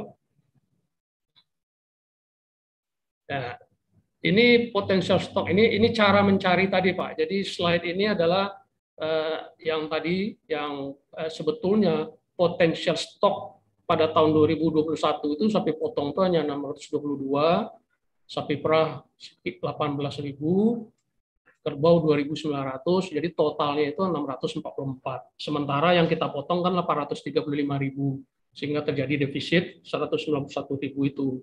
Itu yang saya khawatirkan. Dan ini data ini apa nah ini eh, apa namanya eh, struktur populasi ini adalah parameter yang sudah baku ini. Parameter ini memang tiap 10 tahun di di di di di, di, di update. Ternyata 10 tahun yang lalu nggak terlalu jauh berbeda, Pak uh, apanya uh, uh, uh, struktur populasinya. Seperti contoh misalnya sapi potong itu ya, sapi potong itu uh, uh, jantannya itu ada sekitar 31,8 persen gitu kan. Sementara betinanya itu ada 68,15 persen gitu kan. Jadi betina itu memang lebih besar daripada jantan gitu kan. Dan di antara jantan jantan itu ada lagi dibagi kan ada jantan anak, ada jantan muda, ada jantan dewasa. Dan jantan, dewasa inilah yang akan dipotong. Dan betina juga begitu, ada betina anak, ada betina muda, ada betina dewasa. Betina dewasa inilah jadi pabrik yang harus kita bagaimana mengoptimalkan pabrik ini untuk bisa meningkatkan populasi di dalam di, di provinsi itu gitu kan. Itu yang yang yang yang kita harus melihat seperti ini gitu kan. Ini ini ini cara perhitungan daripada uh, uh, apa namanya uh, uh, apa namanya ke uh, potensial stok potensial stok ya, dari uh, populasi yang ada. Lanjut Pak Budi. Saya melihat pada tahun 2022 kita mencoba memprediksi pada tahun 2022 itu dari dari uh, hasil pertemuan kami dengan BPS, dengan Dijen Peternakan, kami sebagai pelaku juga diundang membicarakan. Itu pada tahun 2022 itu kebutuhan kita daging sapi itu 706 ribu ton dengan mempertimbangkan pertumbuhan ekonomi. Kalau kalau BPS lebih dia condongnya kepada PDB gitu perhitungannya perhitungannya eh, eh, indikator untuk menghitung demandnya itu. Sehingga defisitnya 269 ribu ton. Kalau kita banding pada tahun 2021, memang ada kenaikan defisit ini pada tahun 2022. Nah, defisit itu saya mencoba melihat uh, prognosa dari Jatim gitu kan, Jawa Timur. Kalau yang sebelah kanan atas itu kalau kita lihat uh, apa namanya uh, ada uh, konsumsi kita 335 tadi. Jadi sebetulnya kekuatan kekuatan Jawa Timur itu uh, kalau kita banding dengan demand pada tahun 2022 itu dia defisit, Pak. Defisit untuk kebutuhan sendiri aja tidak cukup ya. Karena demandnya 137 ribu eh, ton itu, sementara supply-nya hanya 113 ribu ton. Ini saya tunjukkan dari apa? Dari perhitungan struktur populasi ini. Nah, kalau seandainya 113 ribu ton itu ada defisit di situ, masih mau dikuras populasinya, saya khawatir gitu kan. Populasi ini akan turun terus gitu kan. Saya saya saya saya melihat eh, kalau tadi awal data populasi itu ya memang perlu di, ditinjau ulang itu cara menghitungnya gitu kan karena karena kalau menurut saya itu kan hanya proyeksi ke proyeksi saja gitu kan. Tahun ini proyeksinya sekian tahun ini proyeksi sekian gitu kan. Sehingga datanya ya naik terus. Tapi kalau fakta kita lihat di lapangan kalau misalnya Jawa Timur akan menguras lagi gitu kan ada 100 eh, apa namanya serat kekurangan 23 ribu ton dari kebutuhan itu itu itu eh, akan berpengaruh terhadap peningkatan populasinya gitu kan lanjut Pak, Pak Budi. Saya saya melihat eh, strategi meningkatkan populasi itu eh, saya eh, saya masih apa namanya masih percaya kalau program siwapnya konsisten dilakukan, sapi induk wajib bunting itu konsisten dilakukan, saya yakin populasi bisa meningkat gitu kan. Ini secara teknis loh Pak. Jadi kebijakan teknisnya harusnya uh, uh, tetap konsisten melakukan program SIWAP itu. Kalau saya perhatikan pada tahun 2019, saya hanya punya data pada tahun 2019, SIWAP itu hanya terrealisasi hanya 67 persen gitu kan. 67 67 persen. Sementara kalau kita lihat dari apa, dari pop, pop, populasi betina betina dewasanya itu ada ada sekitar uh, harusnya satu setengah juta gitu kan, satu setengah juta ekor. Gitu. Pada populasinya lebih dari itu. Nah, makanya pada tahun 2022 seharusnya eh, pemangku kepentingan di Jawa Timur dalam hal ini adalah Dinas Peternakan Provinsi dan Dinas Kabupaten itu saya pikir kalau memang pada tahun 2022 itu dari potensi betina dewasa 2,3 juta ekor itu dapat di apa di cover 80% saja 80% eh, saja dari apa dari dari sapi-sapi eh, betina dewasa itu dibuntingkan itu ada 1,8 juta ekor sapi yang akan bunting gitu Pak. 1,8 juta ekor sapi yang akan bunting. Nah, kalau seandainya yang bunting itu lahir gitu kan, melahirkan katakanlah melahirkan 80% juga gitu kan. Ada satu juta sekian yang akan lahir gitu kan. Sehingga saya pikir kalau ada kelebihan dari satu juta yang lahir, sementara kebutuhan kebutuhan kebutuhan apa? Kebutuhan uh, uh, Jawa Timur itu kan nggak sampai satu juta ekor gitu kan, nggak sampai satu juta ekor di uh, per tahunnya dari demand yang yang 3,35 tadi itu per konsumsinya. Ini mungkin satu-satunya kalau kebijakan teknisnya saya lebih percaya ya konsisten terhadap program ini gitu kan kita kadang-kadang kan ganti ganti pimpinan, ganti kebijakan gitu kan. Ini yang jadi persoalan gitu kan. Nah, yang kedua ya memang harus hati-hati pemerintah daerah juga hati-hati terhadap terjadinya pengurasan populasi sapi potong ini gitu kan. Jadi minimal dikurangi lah pengurasan terhadap populasi ini. Dan yang yang yang selanjutnya juga eh, eh, ini kebijakan HET eh, harga eceran tertinggi dari Peraturan Menteri Perdagangan nomor 07 tahun 2020 itu tentang harga acuan pembelian di tingkat petani dan saya merasakan ini ini eh, apa namanya disinsentif bagi peternak-peternak gitu Pak. Jadi ibaratnya peternak-peternak itu mensubsidi eh, eh, masyarakat Indonesia untuk mengkonsumsi daging gitu kan. Ini kebijakan yang seperti ini gitu kan. Kalau menurut saya kebijakan ini perlu ditinjau ulang gitu kan supaya nanti kegairan daripada peternak itu beternak itu akan lebih lebih bangkit kembali kalau memang mereka uh, mendapatkan uh, keuntungan dari usaha dari dari sapinya itu gitu kan.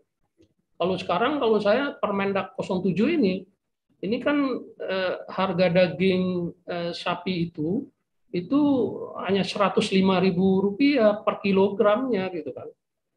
Eh, di dalam eh, di dalam di, di dalam Permendak itu dalam lampiran Permendak itu. Nah, kalau 105 ribu rupiah per, kil, per kilogram daging harga itu artinya eh, harga sapi itu 40 ribu rupiah harga sapi hidup. Harga sapi hidup 40 ribu rupiah dengan berat kakas 50 persen gitu kan. Dengan berat kakas 50 persen, sehingga harga kakasnya menjadi 80 ribu rupiah.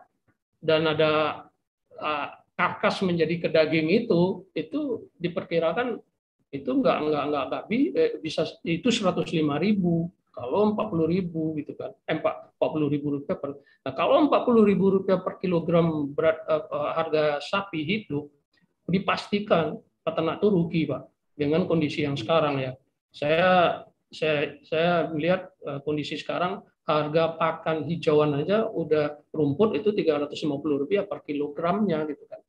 Belum lagi harga konsentrat gitu kan. Jadi nggak mungkin dia bisa menjual 40 ribu. Minimal dia menjual 45 ribu atau 46 sampai 47 ribu. Kalau 45 ribu, harga dagingnya memang 120 ribu, Pak. 120 ribu rupiah gitu kan. Nah ini ini saya pikir perlu ada apa eh, tinjau ulang. Dan kita juga kadang-kadang eh, kebijakan kebijakan daging sapi murah itu eh, perlu ditinjau ulang gitu kan.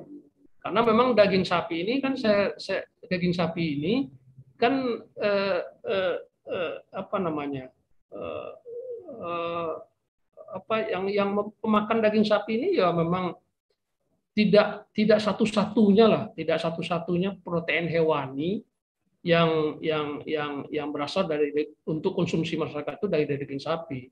Sebetulnya ada telur, ada ayam, ada ikan gitu kan. Jadi kalau saya menyarankan eh, daging sapi itu sapi hidup dan daging sapi itu mekanisme pasar saja gitu kan. Mekanisme pasar aja sehingga kegairan daripada peternak-peternak itu bisa bisa kembali bangkit gitu kan. Saya kira itu aja yang saya sampaikan uh, uh, apa uh, dari presentasi saya ini. Terima kasih Pak Pak Dani. Assalamualaikum warahmatullahi wabarakatuh. Waalaikumsalam warahmatullahi wabarakatuh. Uh, terima kasih paparannya Pak Joni ya. Jadi memang uh, kalau kita bicara tadi uh, banyak sekali ya uh, yang di apa angkat jadi uh, apa ya mekanisme pasar, lalu juga sapi betina ya itu yang apa namanya uh, istilahnya yang menjadi apa pengembang sapi betina yang menjadi motor pertumbuhan sapi ya. Uh, terima kasih Pak uh, Joni atas paparannya ya yang uh, yang menyadarkan kita uh, uh, kondisi terkininya. Uh, dan untuk selanjutnya kami persilahkan uh, Pak Rahmat ya dari uh, eh, Surabaya, Koordinator Jawa Timur untuk memaparkan hasil penelitian bersama uh, mengenai cacat sapi dari uh, Bank Indonesia Jawa Timur dan ISEI Surabaya Koordinator Jawa Timur. Uh, waktunya 20 menit Pak. Monggo silahkan. Ya, terima kasih Pak Nani. Pak eh, Harmata, Pak Eko, Pak Prof. Mulatno, Pak Joni, eh, Pak Dani, eh, teman-teman eh, peserta webinar. Eh, makasih eh, luar biasa kita masuk kepada sebuah era ya kalau di IC ini. Eh, Pak Rohadi pernah bilang ke kami baru kali ini ya sarjana ekonomi bicara sapi. Pak Mulatno, Prof juga tadi bilang eh, aneh ya ada orang ekonomi bicara sapi. Eh, tapi bagi kami di Jawa Timur karena memang eh, di sekitar kita ini kan banyak populasi sebagai populasi sapi, jadi kan kita melihat bahwa ini kan sebuah kekuatan ya. Eh, dari segi eh, perekonomian daerah juga berpengaruh, dari sudut eh, mobilitas yang yang kita bilang sebuah ini ya apa proses bisnis yang akan mempengaruhi kiri kanannya kesejahteraan peternak dan berujung kepada kesejahteraan masyarakat. Oke, uh, untuk memudahkan saya akan uh, share apa namanya. Uh, sebentar. Oke, uh, Bapak Ibu yang saya hormati, uh, kami dengan Bank Indonesia memang menyelenggarakan eh, kajian tentang analisis eh, rantai pasok ternak dan daging sapi di Jawa Timur.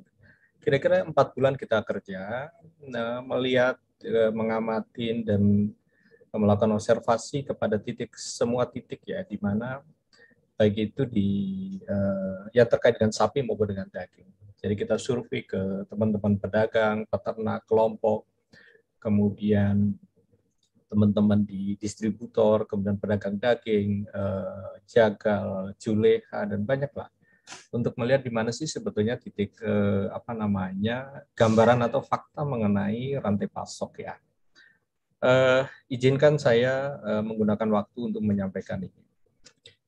Eh, secara umum rantai pasok itu eh, atau supply chain itu ada tiga hal gitu ya. Eh, bagaimana kita eh, berpindah memindahkan produk, memindahkan informasi, eh, kemudian ada di situ ada aliran keuangan. Eh, itu bentuk suatu sistem.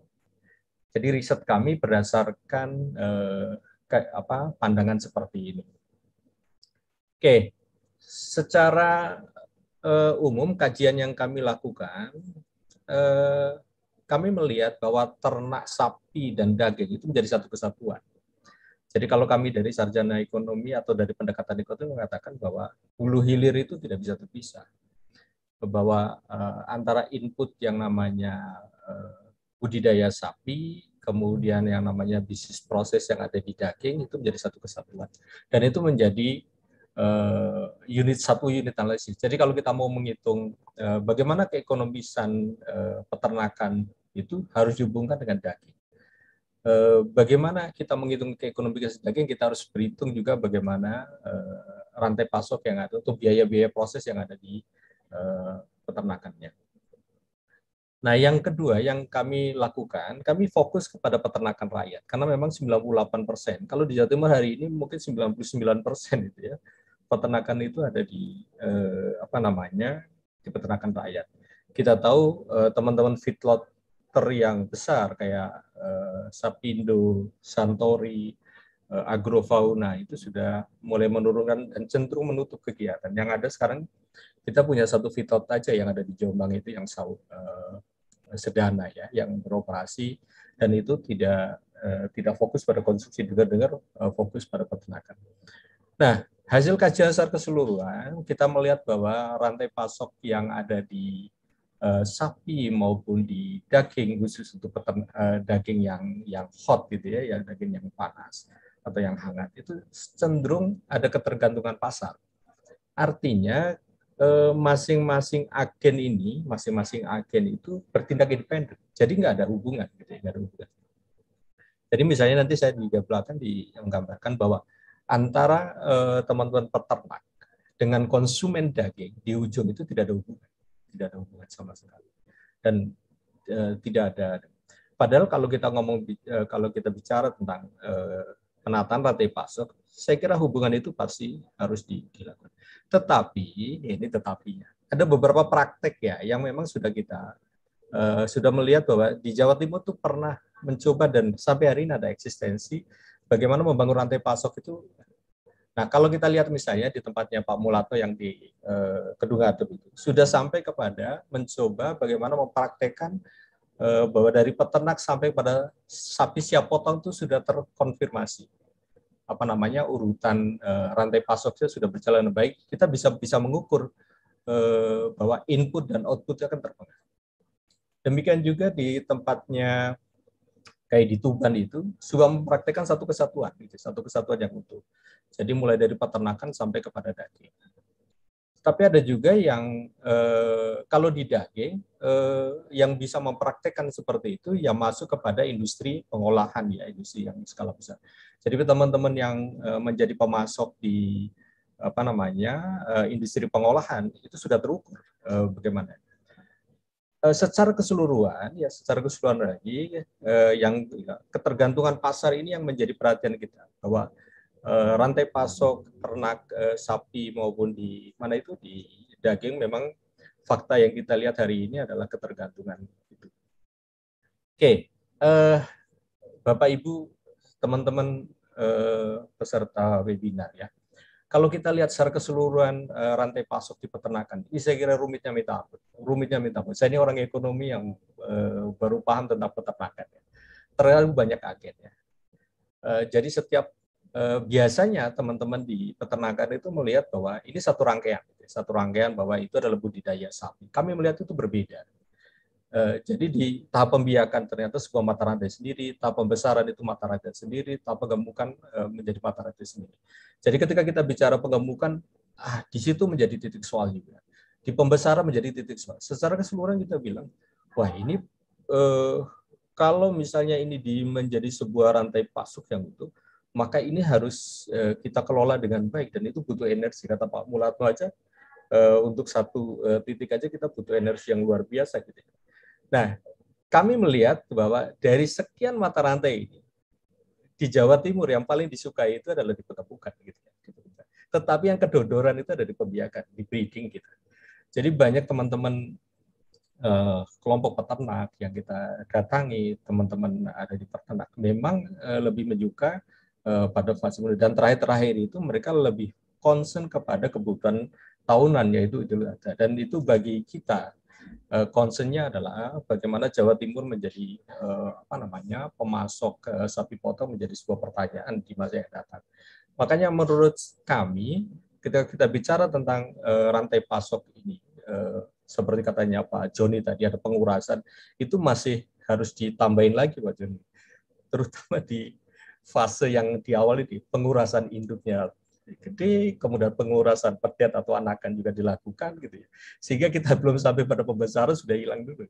Dan memang kita tidak pernah menyalahkan siapa pun, tapi memang eh, kita melihat ada fakta yang memang eh, terjadi pengurasan itu luar biasa.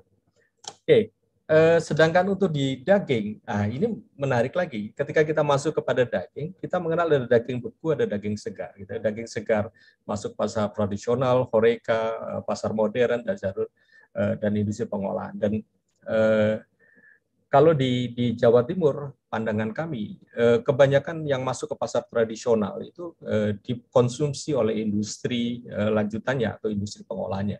Dan mayoritas kebutuhan bakso, baik itu pentol dan teman-temannya itu ya. Banyak eh, pedagang daging saya beberapa kami eh, tanyain di beberapa tempat mengatakan hampir 60% konsumsi daging di pasar tradisional itu memang kebutuhan untuk bakso dan, dan hanya 20 eh, persen gitu ya dikonsumsi untuk eh, apa namanya oleh rumah tangga.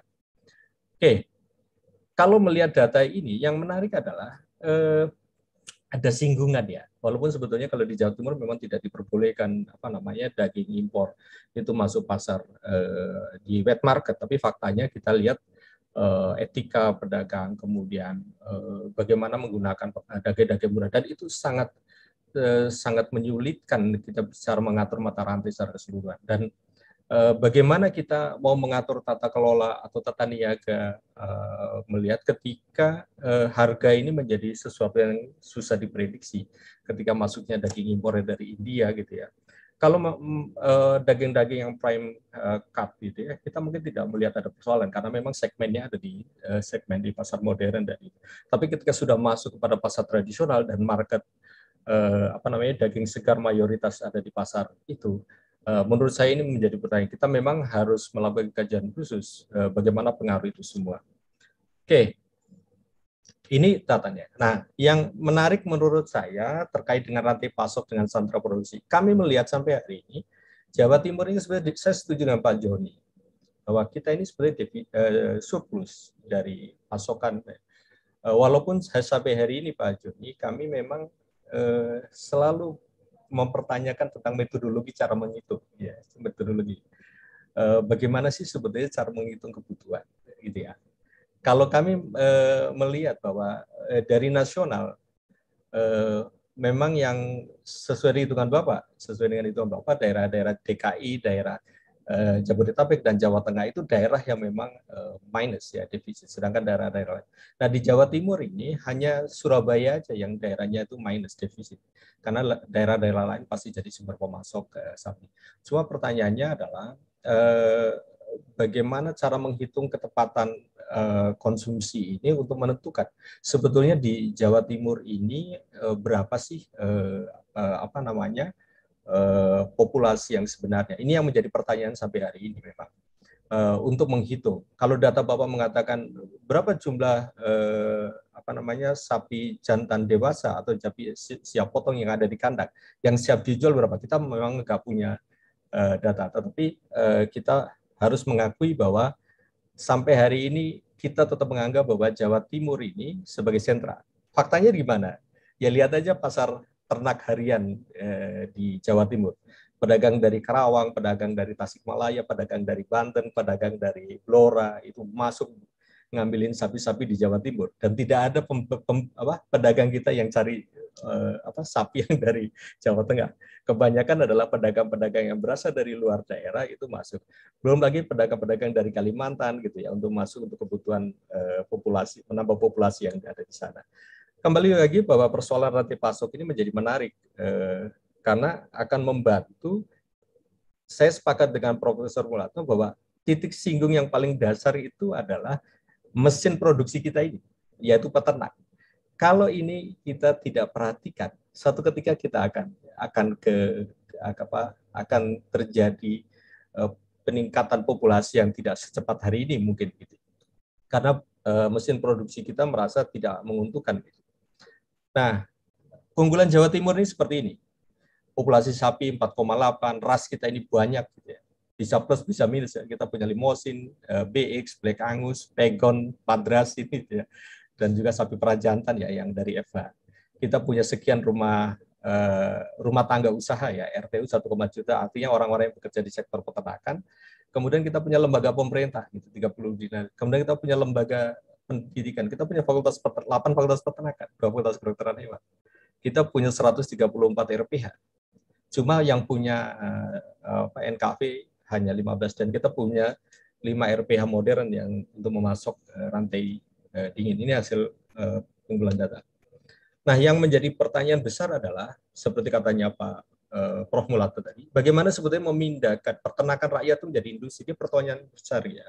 Hasil riset kami ini yang menjadi kritis ya kaitannya dengan bagaimana uh, para peternak itu bicara tentang uh, agriculture ya dari budidaya menjadi sebuah pandangan bisnis. Karena apa? Karena memang peternak itu menjadi kunci menurut kami.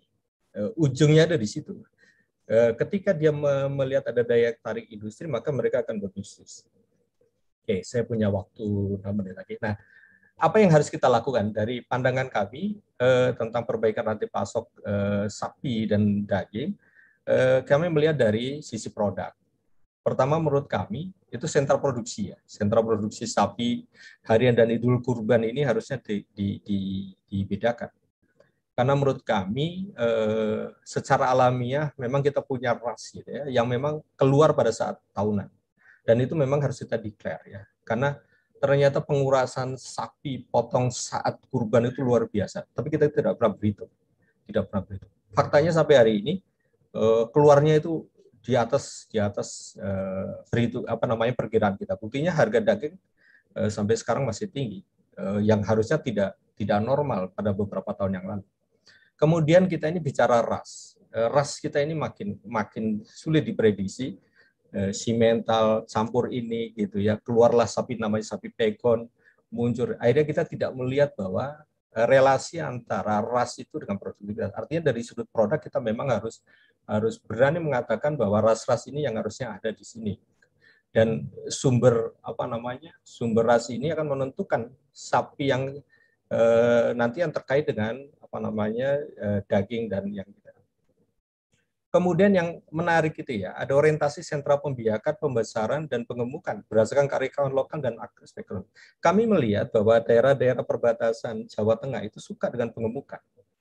Suka dengan pengemukan. Daerah-daerah di luar itu, kayak Jombang, Bojonegoro, Tuban, itu suka dengan petaninya atau peternaknya suka dengan uh, breeding dan setengah pembesaran. Nah, daerah-daerah timur, daerah-daerah uh, apa namanya uh, Probolinggo dan sekitarnya, sebagian memang uh, suka dengan uh, pembiakan, sebagian juga suka. Tetapi saya melihat bahwa ini sebuah dasar ya, bahwa kita kalau menganalisis, eh sorry, mengembangkan Jawa Timur ini, uh, kita harus melihat ke akhir depan untuk melihat sebuah hubungan rantai pasok antar wilayah juga untuk membantu eh, apa namanya kegiatan pembiakan itu menjadi sentra produksi. Nah berikutnya adalah smart farmer. Eh, saya setuju dengan Pak Prof Mulatno ujung dari keberhasilan dari uh, pengembangan Jawa Timur Space Center banyaknya peternak yang pintar gitu ya. Ternyata butuh empat tahun ya. Saya lihatnya kan baru sekarang. Ternyata Prof Mulato sudah mengembangkan situ. Nah, kaitannya dengan daging uh, sapi, saya kira uh, hari ini kita masih melihat praktik untuk mencoba ya rantai pasok dingin ya. Karena dengan rantai pasok dingin kita bisa membedakan biaya, kita bisa mengatur uh, ini apa pasokan kepada pasar, tetapi kita melihat eh, masih masih susah ya karena memang masih berbiaya cukup mahal. Jadi ada penilaian beberapa ya eh, beberapa pasar yang memang dan yang berikutnya adalah halalisasi. Nah, saya cepat aja yang kaitannya dengan informasi. Nah, ini menarik menurut saya, Pak. Jadi eh, kaitannya dengan modernisasi, Pak saya sepakat gitu ya eh, di riset kami mengatakan pasar ternak ini harus jadi titik bagus karena kita hari ini kita kekurangan data mengenai pasokan mengenai uh, kualifikasi sapi gitu ya Yang berikutnya adalah digitalisasi. Digitalisasi menurut saya untuk memotong mata rantai yang ada di tengah para belantik. Bukan mereka tidak butuh, tidak kita perhatikan, tetapi memang harus ter, terpindahkan gitu ya. Peran itu menjadi peran yang digital. Dan yang terakhir adalah sisi informasi peternakan. Eh, sampai ini kalau ditanya berapa jumlah eh, sapi yang ada di pasar, eh, di kandang, kita nggak tahu. Berapa jumlah sapi jantan yang siap potong, kita nggak tahu. Berapa jumlah indukan, kita nggak punya data ya memang kita punya data setahun yang lalu. Tetapi kalau kita diproyeksi berdasarkan fakta hari ini kita belum punya. Tetapi kayaknya kita perlu dikembangkan. Nah, kaitannya dengan keuangan. Nah, tadi di riset kami memang perlulah ada harga preferensi gitu ya. Harga per itu hari ini eh, 7 sampai 8 juta gitu ya. Kalau dihitung eh, apa namanya keekonomisan saya kira di atas di atas harga. Harusnya kira-kira 4 atau 5 juta. Tapi karena memang eh, harga pasarnya segitu, daya demand and supply-nya ketemu ada 9, ada 8 sampai 10 juta. Eh, indukan berapa gitu ya yang kan. Terus biaya biaya biaya pemeliharaan dan maka kemudian yang harus dilakukan saya sepakat dengan Pak atau Bapak dari riset kami mengatakan pilihannya cuma korporasi. Berarti meningkatkan skala ekonomi. Beberapa peternak itu mengatakan bahwa Pak, tujuan kami memang harus merubah dari pekerjaan sambilan menjadi pekerjaan utama maka kami akan meng, sudah menghitung berapa sih sebetulnya keekonomisan kalau itu rumah tangga usaha. Dan itu saya kira harus dikembangkan. Nah, yang eh, berikutnya adalah skema pembiayaan. Beberapa kandang kita hari ini itu kosong. Saya tanya kenapa? Nggak ada uang Pak untuk modal. Berarti aspek pembiayaan menjadi aspek penting ya, menjadi sebuah ekosistem penting dalam ini. Tetapi persoalannya adalah skema pembiayaan kita itu tidak sejalan dengan pola penerimaan sekarang itu banyak kan yarnen ya setelah panen dibayar gitu. Habis itu mereka nggak punya uang karena semua sudah dipakai untuk angsuran. Kembali kepada negara kembali lagi. Kenapa sih nggak modal kayak PRK gitu ya di pinjaman rekening orang kayak di bank Mari kita coba cari titik temu sehingga skema pembiayaan ini menguntungkan para peternak karena memang pola pembiayaan seperti ini. Oke, yang terakhir adalah efisiensi biaya harusnya dihitung. Kami sudah coba hitung di riset kami itu Eh, dari titik awal sampai pada titik akhir itu sebenarnya berapa? Oke, sebagai penutup ini teman-teman semuanya, Bapak Ibu semua yang terhormat, kayaknya nggak ada kata kunci kaitannya. Kami ini hanya bagian kecil gitu ya dari uh, scholar yang memang mikir. Kayaknya kita ini harus untuk kalau katanya ini katakan uh, peribahasa itu katakan kalau kalau pingin cepat ya jalan aja sendiri. Tapi kalau ada pingin jalan jauh ya memang harus kita bersama-sama. Tetapi Eh, kita yakin bahwa kebersamaan itu maksudnya semua stakeholder yang terlibat dalam peternakan sapi potong ini memang harus pikir bersama, duduk bersama, eh, membuka data secara bersama supaya kita bisa menemukan peran masing-masing, kemudian muncullah sebuah gagasan-gagasan penting supaya Jawa Timur ini tetap menjadi sentra eh, produksi sapi. Eh, itu Pak Dani, terima kasih atas waktunya itu uh, catatan penting dari uh, riset yang kami lakukan. Terima kasih Pak Rani. Assalamualaikum warahmatullahi wabarakatuh.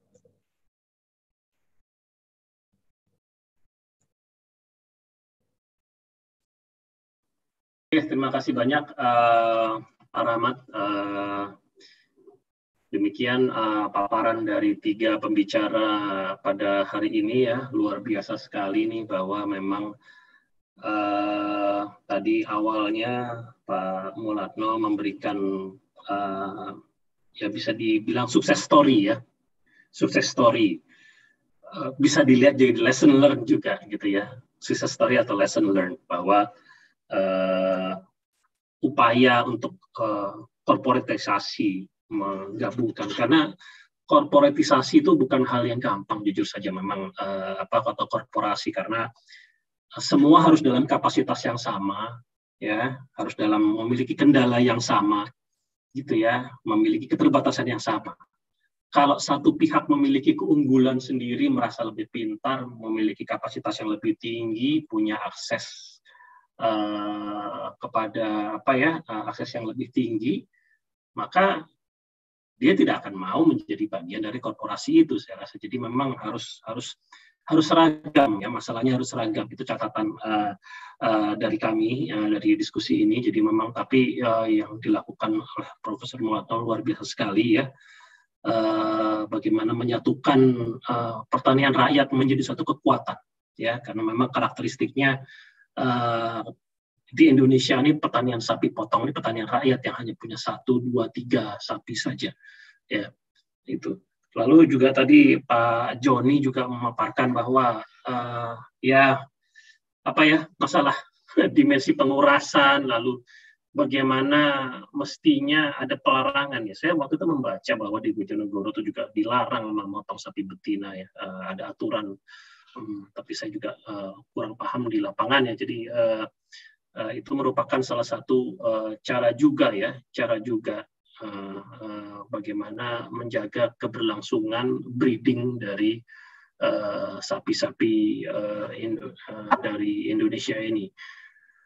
Uh, itu memang uh, salah satu tantangan ya uh, Pak Joni saya harus mengakui jadi uh, bagaimana apa produktivitas ini terus dijaga sementara daya saing juga dijaga uh, terutama bagaimana uh, peternak rakyat itu juga punya insentif ya punya insentif sehingga tidak apa dibatasi bahwa harga harus sekian gitu ya jadi kan ya semua juga mau untung gitu ya. Semua nggak ada yang mau jual rugi itu nggak ada. Semua maunya jual untung gitu ya.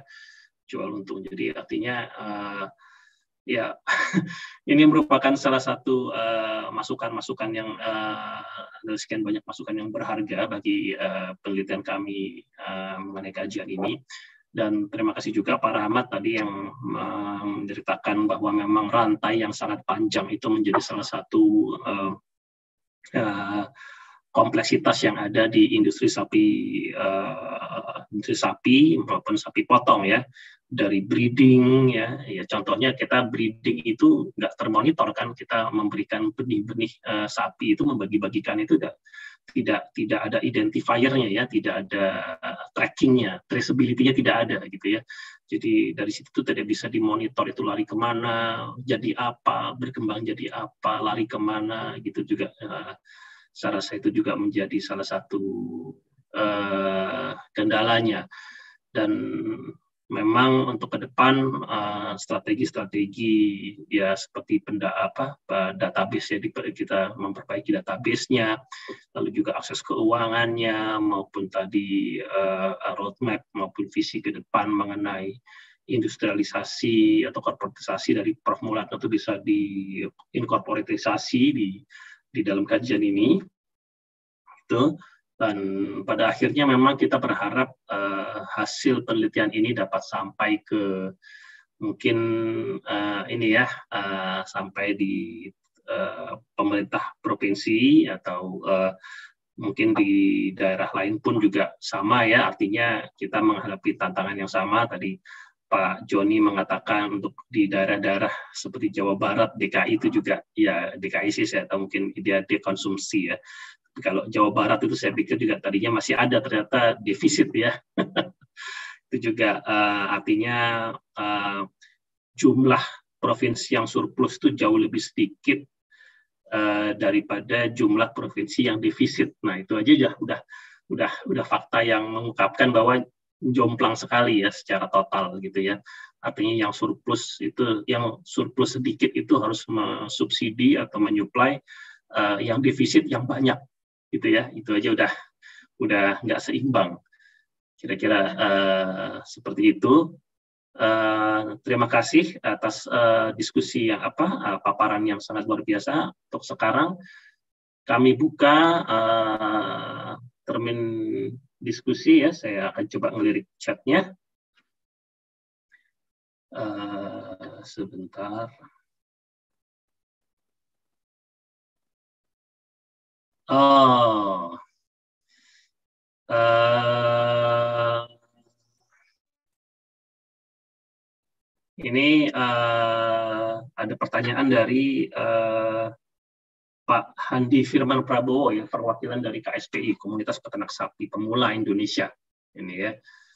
Uh, intinya ingin menyampaikan unek-uneknya ya. Uh, salah satu persoalan dalam penambahan populasi adalah kurangnya minat untuk breeding ya kurangnya minat untuk breeding. Uh, faktor-faktornya adalah uh, biaya dan keberhasilan uh, breeding yang masih minim gitu ya. Jadi memang itu apa kendala-kendalanya. Dan juga masifnya pemotongan betina produktif juga uh, menjadi masalah dan belum ada aturan terhadap para pelanggar dari mungkin eh, aturan-aturan tersebut. Lalu uh, siapa yang kira-kira uh, bisa apa ya memperhatikan hal tersebut? Nah itu mungkin nanti pertanyaan buat Pak Mulatno juga ini ya, uh, Pak Mulatno juga ini, atau Pak Joni mungkin ya nanti. Uh, lalu uh, mungkin itu dulu ya. Itu juga panjang mungkin ininya jawabannya mungkin. Silakan Pak Mulatno dulu bisa. Terima kasih. Jadi saya terima kasih punya teman Pak Handi dengan pertanyaan seperti itu. Dan dan memang itu yang harus dijadikan prioritas. Pemerintah harus betul-betul uh, all out untuk ke sana. Ya uh, biarlah yang urusan selama nanti kecukupan populasi belum ada. Di mana-mana Pak di Indonesia. Saat ini saya sedang di Flores saya ini. Dan saya melihat potensinya di sini luar biasa, tetapi populasinya ternak masih terlalu sedikit untuk populasi pakan yang seperti ini. Makanya kami, saya sedang diskusi dengan kepala dinas di sini, eh, kami juga mengajak cara-cara eh, kom, apa tadi komunitas peternak yang terkonsolidasi kita kembangkan karena di sana itu disediain range oleh ini tanah tanah ulayat itu ada 21 titik yang paling luas itu 1.800 hektar, yang paling kecil hanya 200-an hektar, dan itu masih banyak yang kosong. Ya, artinya apa? Ini pemerintah nggak usah lagi lah import-import segala macam. Mari kita fokus kembangkan si sapi indukan tadi itu. Sapi indukan itu adalah pabriknya sapi, pabriknya pedet. Dan itu yang belum dioptimalkan. Saya catatan saya menunjukkan banyak sapi indukan yang baru beranak tiga kali langsung masuk RPH. Ya, dan itu memang betul kata Pak Joni tadi itu. Sembilan atau tujuh dari sepuluh itu betina yang disembelih. Di NTT sini saya lihat juga banyak itu sapi-sapi Bali warna coklat berpantat putih. Itu pasti betina. Ya, kalau sapi Bali itu jantan pasti warnanya hitam. Nah, dan ini memang betul itu kenapa kok sapi betinanya itu dihabisin karena jantannya nunggu idul korban. Ya. Nah itu akhirnya apa situasi seperti itu membuat makin kacau. Uh, oleh karena itu uh, yang disampaikan Pak Edi betul dan siapa yang bisa mengendalikan itu bukan pemerintah sekali lagi. Yang bisa melaksanakan pembiakan adalah peternak. Ya, pemerintah nggak bisa. Maka ada saya masih sering mendengar ini tugas pemerintah ini tugas pemerintah Iya boleh pemerintah itu memfasilitasi iya, tetapi yang beternak itu hanya peternak. Mari kita bantu mereka. Um, breeding males nggak juga Pak. Ternyata tadi Pak, saya juga sepakat 65 persen itu betina semua. Jantannya lebih sedikit, Bang. Artinya peternak itu militan juga untuk uh, mempertahankan betinanya. Hanya saja mereka belum bisa meng, apa ya, mendesain secara komprehensif supaya bisa berbisnis dengan baik dengan breedingnya. Tapi para peternak-peternak yang sudah uh, eh, SPR Pak, Pak Dani, ini mereka sudah mulai mikir. Ternyata kalau penggemukan saja dan nanti bakalannya beli di pasar, dia untungnya sedikit. Karena beli misalnya beli 20 juta, kemudian dijual 25 juta. Nanti untuk belikan bakalan, bakalannya sudah naik 22 juta. Gitu. Nah, sehingga ini mereka mulai menjadi berpikir bahwa bakalan harus disediakan sendiri Nah, orang-orang pengemukan sekarang udah mulai mikir untuk tidak uh, untuk sadar supaya mencetak bakalan sendiri daripada membeli bakalan uh, di di pasar ya. Nanti nggak dapat untung nanti itu. Jadi uh, saya dan teman anu kami mengajak semua mari kita juga bantu peternak-peternak uh, kecil itu yang memang betul-betul bisa membiakkan, mengembang biakkan feedlotter itu kan ya saya waktu itu sempat agak ini ya saya juga dimarahin juga sama feedlotter ya boleh lah feedlotter membantu pak ya membantu untuk menyediakan daging dan itu bagus daripada kita impor daging beku mending impor sapi bakalan itu lebih baik tetapi e, kalau untuk mengembang biakan itu orang feedlotter itu nggak nggak masuk. Ya, eh, lebih baik hanya menggemukkan saja. Dan saya apresiasi juga lah itu ya.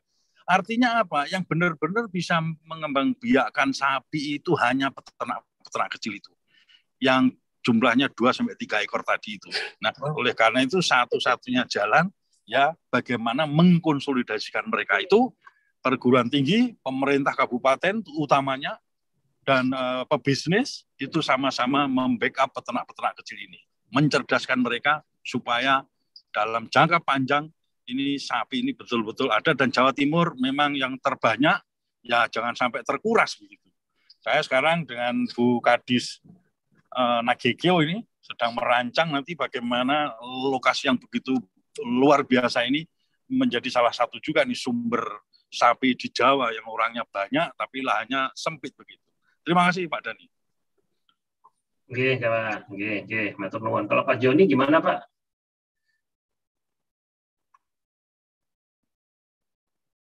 Ya, kalau terima kasih Pak Dani ya. Saya kira apa yang disampaikan oleh Pak Molano udah banyak ya. Saya saya saya sependapat ya. Sebetulnya eh, kenapa para peternak itu tidak berminat dengan apa? Dengan uh, pembiakan dari eh, apa? budidaya pem, uh, apa namanya? sapi-sapi indukan itu gitu kan. Yang saya pikir itu hanya cash flow. Cash flow-nya memang agak panjang gitu kan dibanding kalau dia melakukan bakalan. Nah, kalau memang ada alternatif-alternatif, sebetulnya perlu ada apa perhatian pemerintah juga gitu kan. Karena kendala cash flow itu harusnya ada dukungan daripada pemerintah. Sementara kan pemerintah sendiri kan di dalam undang-undang kan juga eh, apa breeding itu adalah tanggung jawab pemerintah sebetulnya, bukan tanggung jawab masyarakat gitu kan. Tapi kita tahu kan bahwa di Indonesia ini 98% adalah para para peternak rakyat gitu kan yang menguasai populasi yang sekitar 18 juta itu gitu kan. Oleh karena itu kita harusnya pemerintah eh, cerdik gitu kan bagaimana untuk mengupayakan eh, para para peternak ini berminat untuk melakukan proses pembibitan itu. Nah, itu perlu ada insentif insentif yang diberikan kepada mereka. Ada program-program yang dilakukan oleh pemerintah gitu kan, seperti misalnya desa korporasi Desa korporasi itu kan ya masing-masing kelompok satu korporasi itu ada seribu ekor. Nah, dari satu korporasi, korporasi itu ada lima kelompok, masing-masing kelompok ada 200 ekor. 100 ekor betina dan 100 ekor jantan. Itu sudah dilakukan upaya-upaya seperti itu. Tapi kalau kalau saya melihat, saya kan ikut uh, melakukan pendampingan di situ, terlalu apa ya? Terlalu oh, oh, oh, apa namanya? Uh, kita kan harus tahu juga gitu kan kemampuan daripada para peternak itu untuk memelihara di dalam usaha skala ekonominya itu sendiri gitu kan. Jadi kalau dia memelihara 200 ekor itu itu biaya pakannya aja. Kalau 200 ekor itu udah 6 ton per hari gitu kan di Jawa. Kali 350 ribu 350 perak. Dari mana dia uangnya dapat gitu kan per, untuk memberi makan sapi itu gitu kan. Jadi kalau menurut saya mau apanya niat pemerintah untuk mengembangkan pembibitan itu sudah ada, cuma caranya, modelnya yang belum belum dapat gitu kan.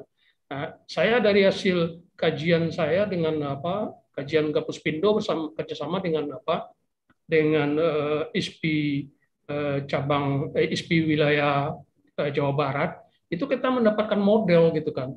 Model yang bisa diterapkan ke para peternak itu adalah 717, Pak jadi tujuh uh, indukan, satu jantan, tujuh bakalan gitu kan. Sehingga bakalan-bakalan ini bisa membiayai yang tujuh indukan itu gitu kan. Itu yang yang yang kita dapatkan uh, dari model-model itu dan ini yang kita sampaikan kepada pemerintah kalau memang ingin melakukan peningkatan populasi ya ini caranya gitu kan. Memang masih ada insentif kalau dihitung secara ekonomi memang belum apa cash flow masih negatif. Tapi kalau eh, apa model 717 ini kita terapkan ada insentif daripada pemerintah itu eh, itu bisa di, di, di, di, di, di, di, di apa diimplementasikan.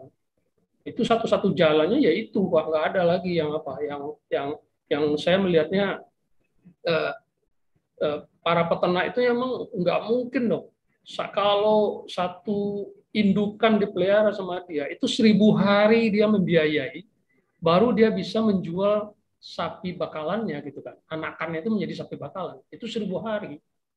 Dari mana dia mendapatkan keuntungan? Makanya kita coba mencari model bagaimana dia bisa mendapatkan eh, apa namanya pendapatan eh, dari sapi eh, pengemukannya gitu kan untuk membiayai yang indukan ini. Dan dan dan dan kalau kita lihat di Jawa Timur juga udah mulai agak kesulitan kan untuk mencari sapi-sapi bakalan itu. Jadi ibaratnya kalau kita menerapkan model itu, dia akan bersuasembada di kelompoknya dia sendiri gitu kan. Yang tadi Pak Mulano bilang gitu kan. Jadi perdet-perdet yang dia lahirkan itulah yang dijadikan bakalan yang kan. Jadi dia tidak perlu mencari bakalan-bakalan yang lain. Dia udah bisa mampu bersuasembada di eh, kelompoknya dia sendiri gitu kan. Ini yang yang perlu diperhatikan oleh oleh pemerintah gitu kan. Eh, saya pikir tanpa tanpa ada dukungan pemerintah ya nggak mungkin juga eh, untuk dia melakukan daripada pendidikan itu. Saya kira itu Pak Pak Dani. Pak Dani, saya ya, bisa ya. nambah sedikit Pak supaya mumpung iya. nyambung ya. dengan Pak Joni tadi. Iya Pak. Jadi terkait pembiakan itu saya kurang sepakatnya apabila diberi tanggung jawab kepada pemerintah. Nah, maksud saya pemerintah tetap bertanggung jawab, cuman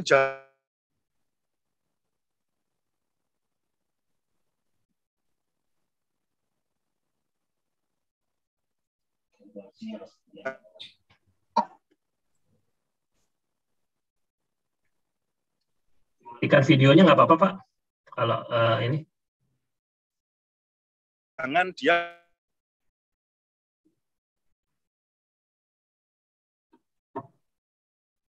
lagi di jalan nih Pak Mud. menjadi peternak, Pak. Kalau ada itu data empiris di mana-mana, mengatakan bagaimana menyediakan lahan. Mau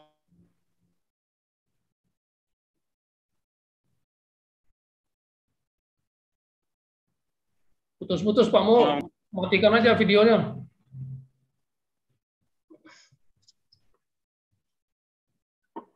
Ya, jadi semua yang dibutuhkan itu harus disediakan pemerintah. Nah, itu saya sepakat. Nah, tapi syaratnya seperti yang di Nagegio sekarang ini, eh, range-range yang disediakan itu harus dipenuhi semua. Nah, ternak-ternak milik masyarakat itu dipul di situ oleh karena itu mengkonsolidasikan peternak itu langkah nomor satu apabila pembiakan eh, pembiakan sapi milik rakyat itu ya.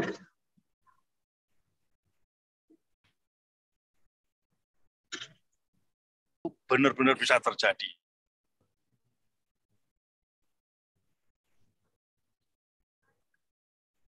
Oke, okay, ya putus-putus ya. Uh, tapi ya ya sih benar memang ya istilahnya konsolidasi pertanian rakyat ya itu yang menjadi uh, kunci di sini kalau tadi Pak Mulatna bilang juga Pak Jan. Uh, kalau Pak Rahmat ada ini Pak mungkin Jadi, tambahan? Kalau saya gini, saya sepakat bahwa mesin produksi kita ini kan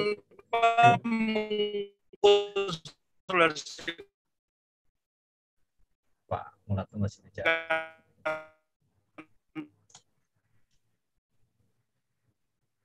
Ya. Hmm. Uh, kalau saya melihatnya gini, Pak Dhani. Jadi kalau ngomong tentang breeding itu, saya lihat khusus untuk Jawa Timur, untuk pengamatan kami di lapangan itu memang nggak bisa disamaratakan. Memang ada beberapa daerah, memang peternaknya memang concern dengan breeding, dan mereka sudah terlatih ya secara uh, kalau bahasa saya itu mereka itu kayak pelari-pelari maraton ya. Memang suka dengan yang panjang. Dan yang kedua, mereka punya strategi gitu ya. Bahwa e, rantai pasok di breeding, rantai pasok di pembesaran dan rantai pasok di mana pengembukan itu menurut mereka berbeda.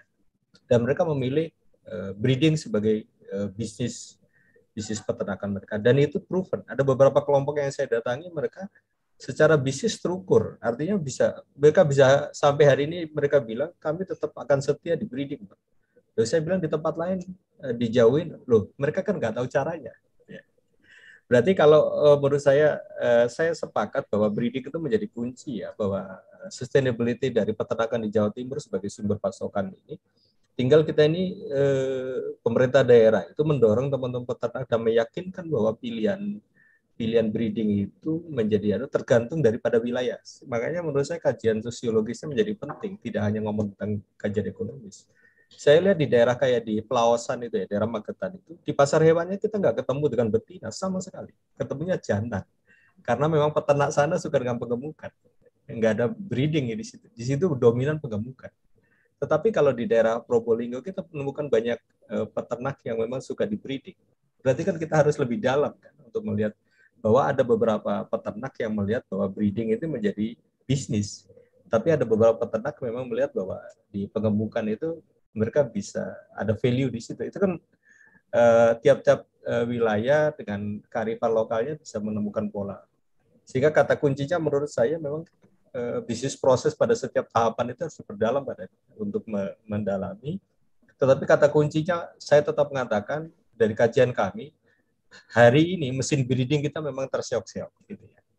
Hari ini kita memang pasokan untuk breeding itu kita eh, kedodorannya di situ Jawa Timur. Kita fokus kepada eh, apa namanya di pembesaran di pengembukan sehingga rebutan di anakan ini kerasa banget.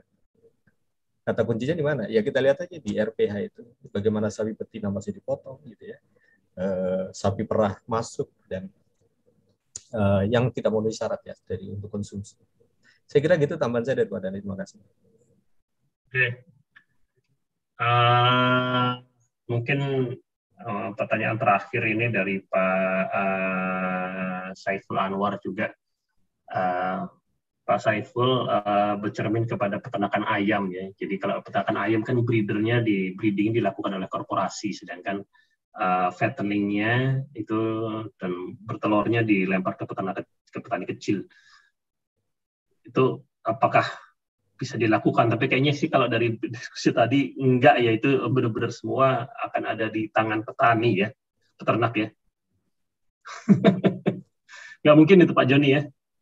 Jadi ya, kalau, kalau ya kalau menurut saya ya karena memang kembali lagi kan uh, populasi yang ada di kita ini kan hampir 90 persen itu di tangan peternakan rakyat. Gitu. Iya betul. Ya, kalau memang mau yang seperti itu, kalau dibikin uh, ter, apa tersubsistem seperti itu sistem pembibitan uh, pembesaran pengemukan gitu kan nah, mungkin perlu ada dukungan apa namanya ya kembali lagi kalau saya dari dalam undang-undangnya kan udah jelas bahwa pembibitan itu tanggung jawab pemerintah gitu kan. Harusnya pemerintah punya breeding gitu kan. Tak punya pemerintah breeding gitu kan punya gitu kan uh, kayak UPT UPT unit pelaksana teknis uh, terhadap pembibitan itu tapi ya kita tahu lah ya nggak sesuai dengan harapan untuk bisa uh, dimultiplikasikan ke ke ke apa ke masyarakat itu gitu kan itu yang belum apa yang belum belum jalan gitu hmm. saya ya, kondisi yang kondisi-kondisi sekarang ya kalau memang di tangan peternak 95% itu itu yang didorong harusnya. Iya, yeah, betul. Hmm. Tapi betul, tetap betul. harus ada insentif daripada pemerintah gitu kan.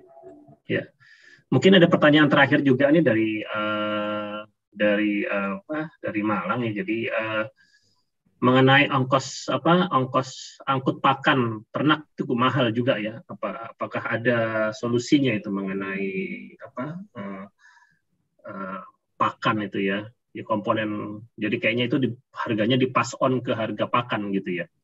Atau gimana? Jadi uh,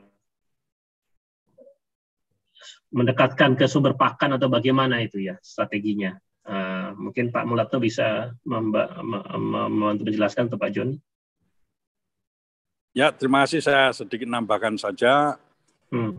Itu betul karena pakan memang lebih dari 70 persen kebutuhannya. Dan tentu saja kalau mau berbisnis sapi, ya harus di sumber pakan yang uh, yang melimpah begitu ya. Itu jelas. Kalau sampai nanti angkut pakan itu sudah menjadi uh, variabel ekonomi yang merugikan ya, ya ya tinggalkan saja gitu. Nggak tepat lokasi di situ gitu.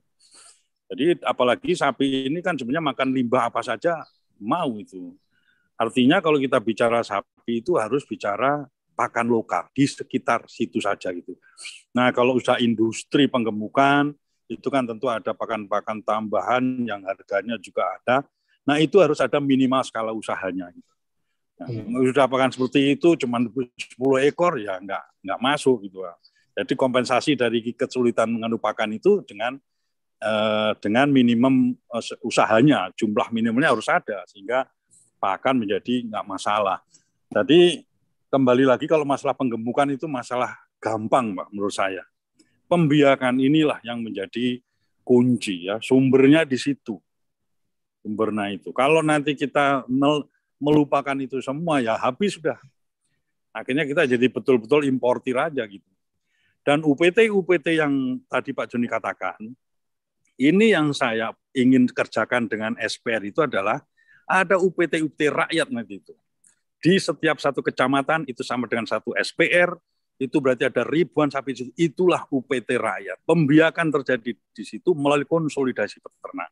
Peternak nanti didorong untuk minimal mempunyai tadi saya sepakat dengan Pak Joni harus paling enggak itu hitungan kami itu sebenarnya dua indukan lima jantan. Ya itu baru masuk atau apa tiga lah, tiga indukan eh, tujuh jantan supaya mereka juga bisa menghidupin. Nah itu kan pelan-pelan, Pak. Ya kita nggak bisa buru-buru ini mengerjakan seperti ini, apalagi kondisi peternaknya yang masih seperti itu. Tapi dengan kesabaran tadi itu satu spot 8 tahun, satu spot 8 tahun seperti itu, saya kok yakin, ya yakin. Yang yang penting pemerintah harus bersama-sama ya, jangan mikir dirinya sendiri seolah-olah bisa mengerjakan diri itu sudah harus ditinggalkan itu. Karena pemerintah sendiri nggak bisa, perguruan tinggi sendiri nggak bisa, pebisnis sendiri ya harus kita support karena mereka lah penggerak ekonominya begitu. Tetapi dengan cara-cara tadi itu eh, semua kita dedikasikan kepada peternak rakyat. Kalau pemerintah ya fasilitasinya, sarana prasarana harus full untuk mereka. Peternak untuk menyediakan tenaga dan ternaknya saja. Di luar itu urusan pemerintah itu untuk menyediakan mereka. Terima kasih Pak Dani. Eh, matur nuwun sangat nih. Uh, ini mungkin uh, saya sesuai dengan apa ya? Sesuai dengan uh, rundown ya. Uh, ini menarik sekali uh, diskusi pada hari ini terutama uh, tadi ya memetakan di rantai-rantai mana yang kira-kira memang perlu fokus gitu ya data dari dari sini memang uh, rantai di awal itu juga menjadi hal yang penting ya tapi juga tadi dari Pak Rahmat kita tidak bisa melupakan juga bagaimana misalnya menstandardisasi rumah potong hewan gitu ya. Eh, kualitasnya juga eh, apa ya terutama dengan perkembangan terkini gitu ya. Perkembangan terkini digitalisasi itu apakah juga bisa dilakukan digitalisasi di rumah potong hewan gitu ya. Uh, artinya mengadopsi teknologi tapi tetap tidak melupakan kearifan lokal dari uh, karakteristik peternak, peternakan rakyat. Nah, ini juga menjadi penting ya, kearifan lokal dari uh, culture atau budaya peternak, peternak rakyat itu sendiri. Rasa gitu. Uh, mungkin uh, saya mengucapkan banyak uh, terima kasih ya, banyak terima kasih kepada Pak Mulatno nih dan Pak Joni uh, ini saya harap bukan akhir tapi awal dari kerjasama ya. Moga-moga nih awal dari kerjasama nih, Pak Mulatno tadi uh, mengenai uh, bagaimana petani rakyat berdaya ya. Bagaimana petani rakyat berdaya melalui konsolidasi melalui kolaborasi. Ya itu saya suka sekali apa namanya Eh, eh, semangat Pak Mulatno ini untuk bagaimana menggerakkan petani rakyat. Karena bagaimanapun memang dari kita untuk kita gitu ya. Eh, kira-kira seperti itu. Dan juga saya rasa memang ya, Pak Joni juga tadi menambahkan saya juga setuju sekali bahwa memang sebaiknya tidak ada ceiling ceiling price lah ya ceiling price let let market decide gitu ya what's the let market decide was the efficient way gitu ya. Uh, karena juga pasti ada invisible hand di situ yang akan bekerja. Kira-kira seperti itu dan Pak Rama juga terima kasih banyak uh, atas ininya ya kerjasamanya dan atas jerih payahnya, ya saya mengakui empat bulan yang melelahkan juga ya, cukup melelahkan ya. Warawiri sana sini ber eh, FGD dengan berbagai pihak ya, dengan Belantik, dengan uh, dengan uh, RPH, dengan peternak gitu ya, dengan uh, pengusaha sapi potong, mereka jadi uh, luar biasa sekali. Saya kami sangat mengapresiasi juga uh, apa namanya field worknya dari uh, dari kajian ini Uh, sekali lagi uh, kami mengucapkan banyak terima kasih kepada uh, Prof. Mulatno yang menyempatkan uh, untuk memberikan uh, pencerahan dan memperluas wawasan kami pada diskusi pada hari ini. Pak Joni Liano juga uh, terima kasih atas paparannya, terima kasih atas pencerahannya. Moga-moga uh, kita dapat terus bekerja sama karena saya yakin ini memang uh, uh, awal dari bisa dibilang uh, upaya baru gitu awal dari upaya baru untuk uh, terus mendorong produktivitas atau daya saing dari produksi sapi potong ini. Sekali lagi dan terima kasih juga untuk uh, Pak Rahmat dan tim ya yang uh, luar biasa sekali uh, tanpa lelah apa namanya berlelah-lelah untuk uh, berkeliling mencari uh, informasi yang sangat granular untuk mencari kejelasan dari uh, kondisi sapi potong ini. Sebagai moderator saya juga uh, kami mengucapkan terima kasih banyak atas uh, diskusi yang mencerahkan pada hari ini.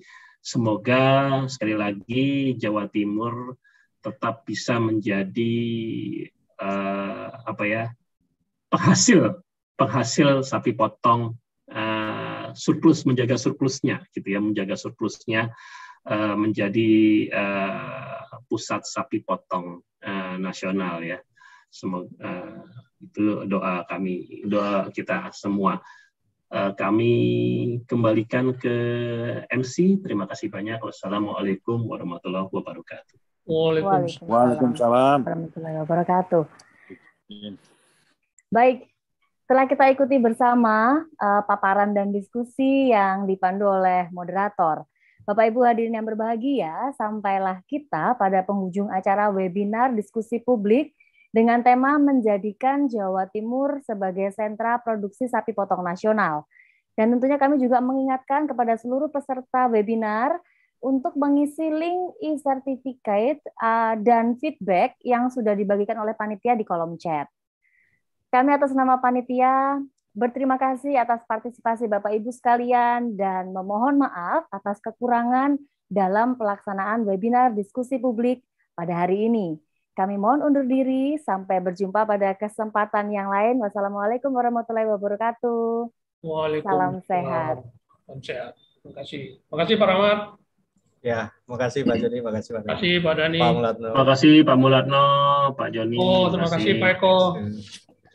Terima kasih banyak. Terima kasih. Terima kasih Pak. Oh, terima kasih Bu MC. Ibu, Pak Rahmat, Okay.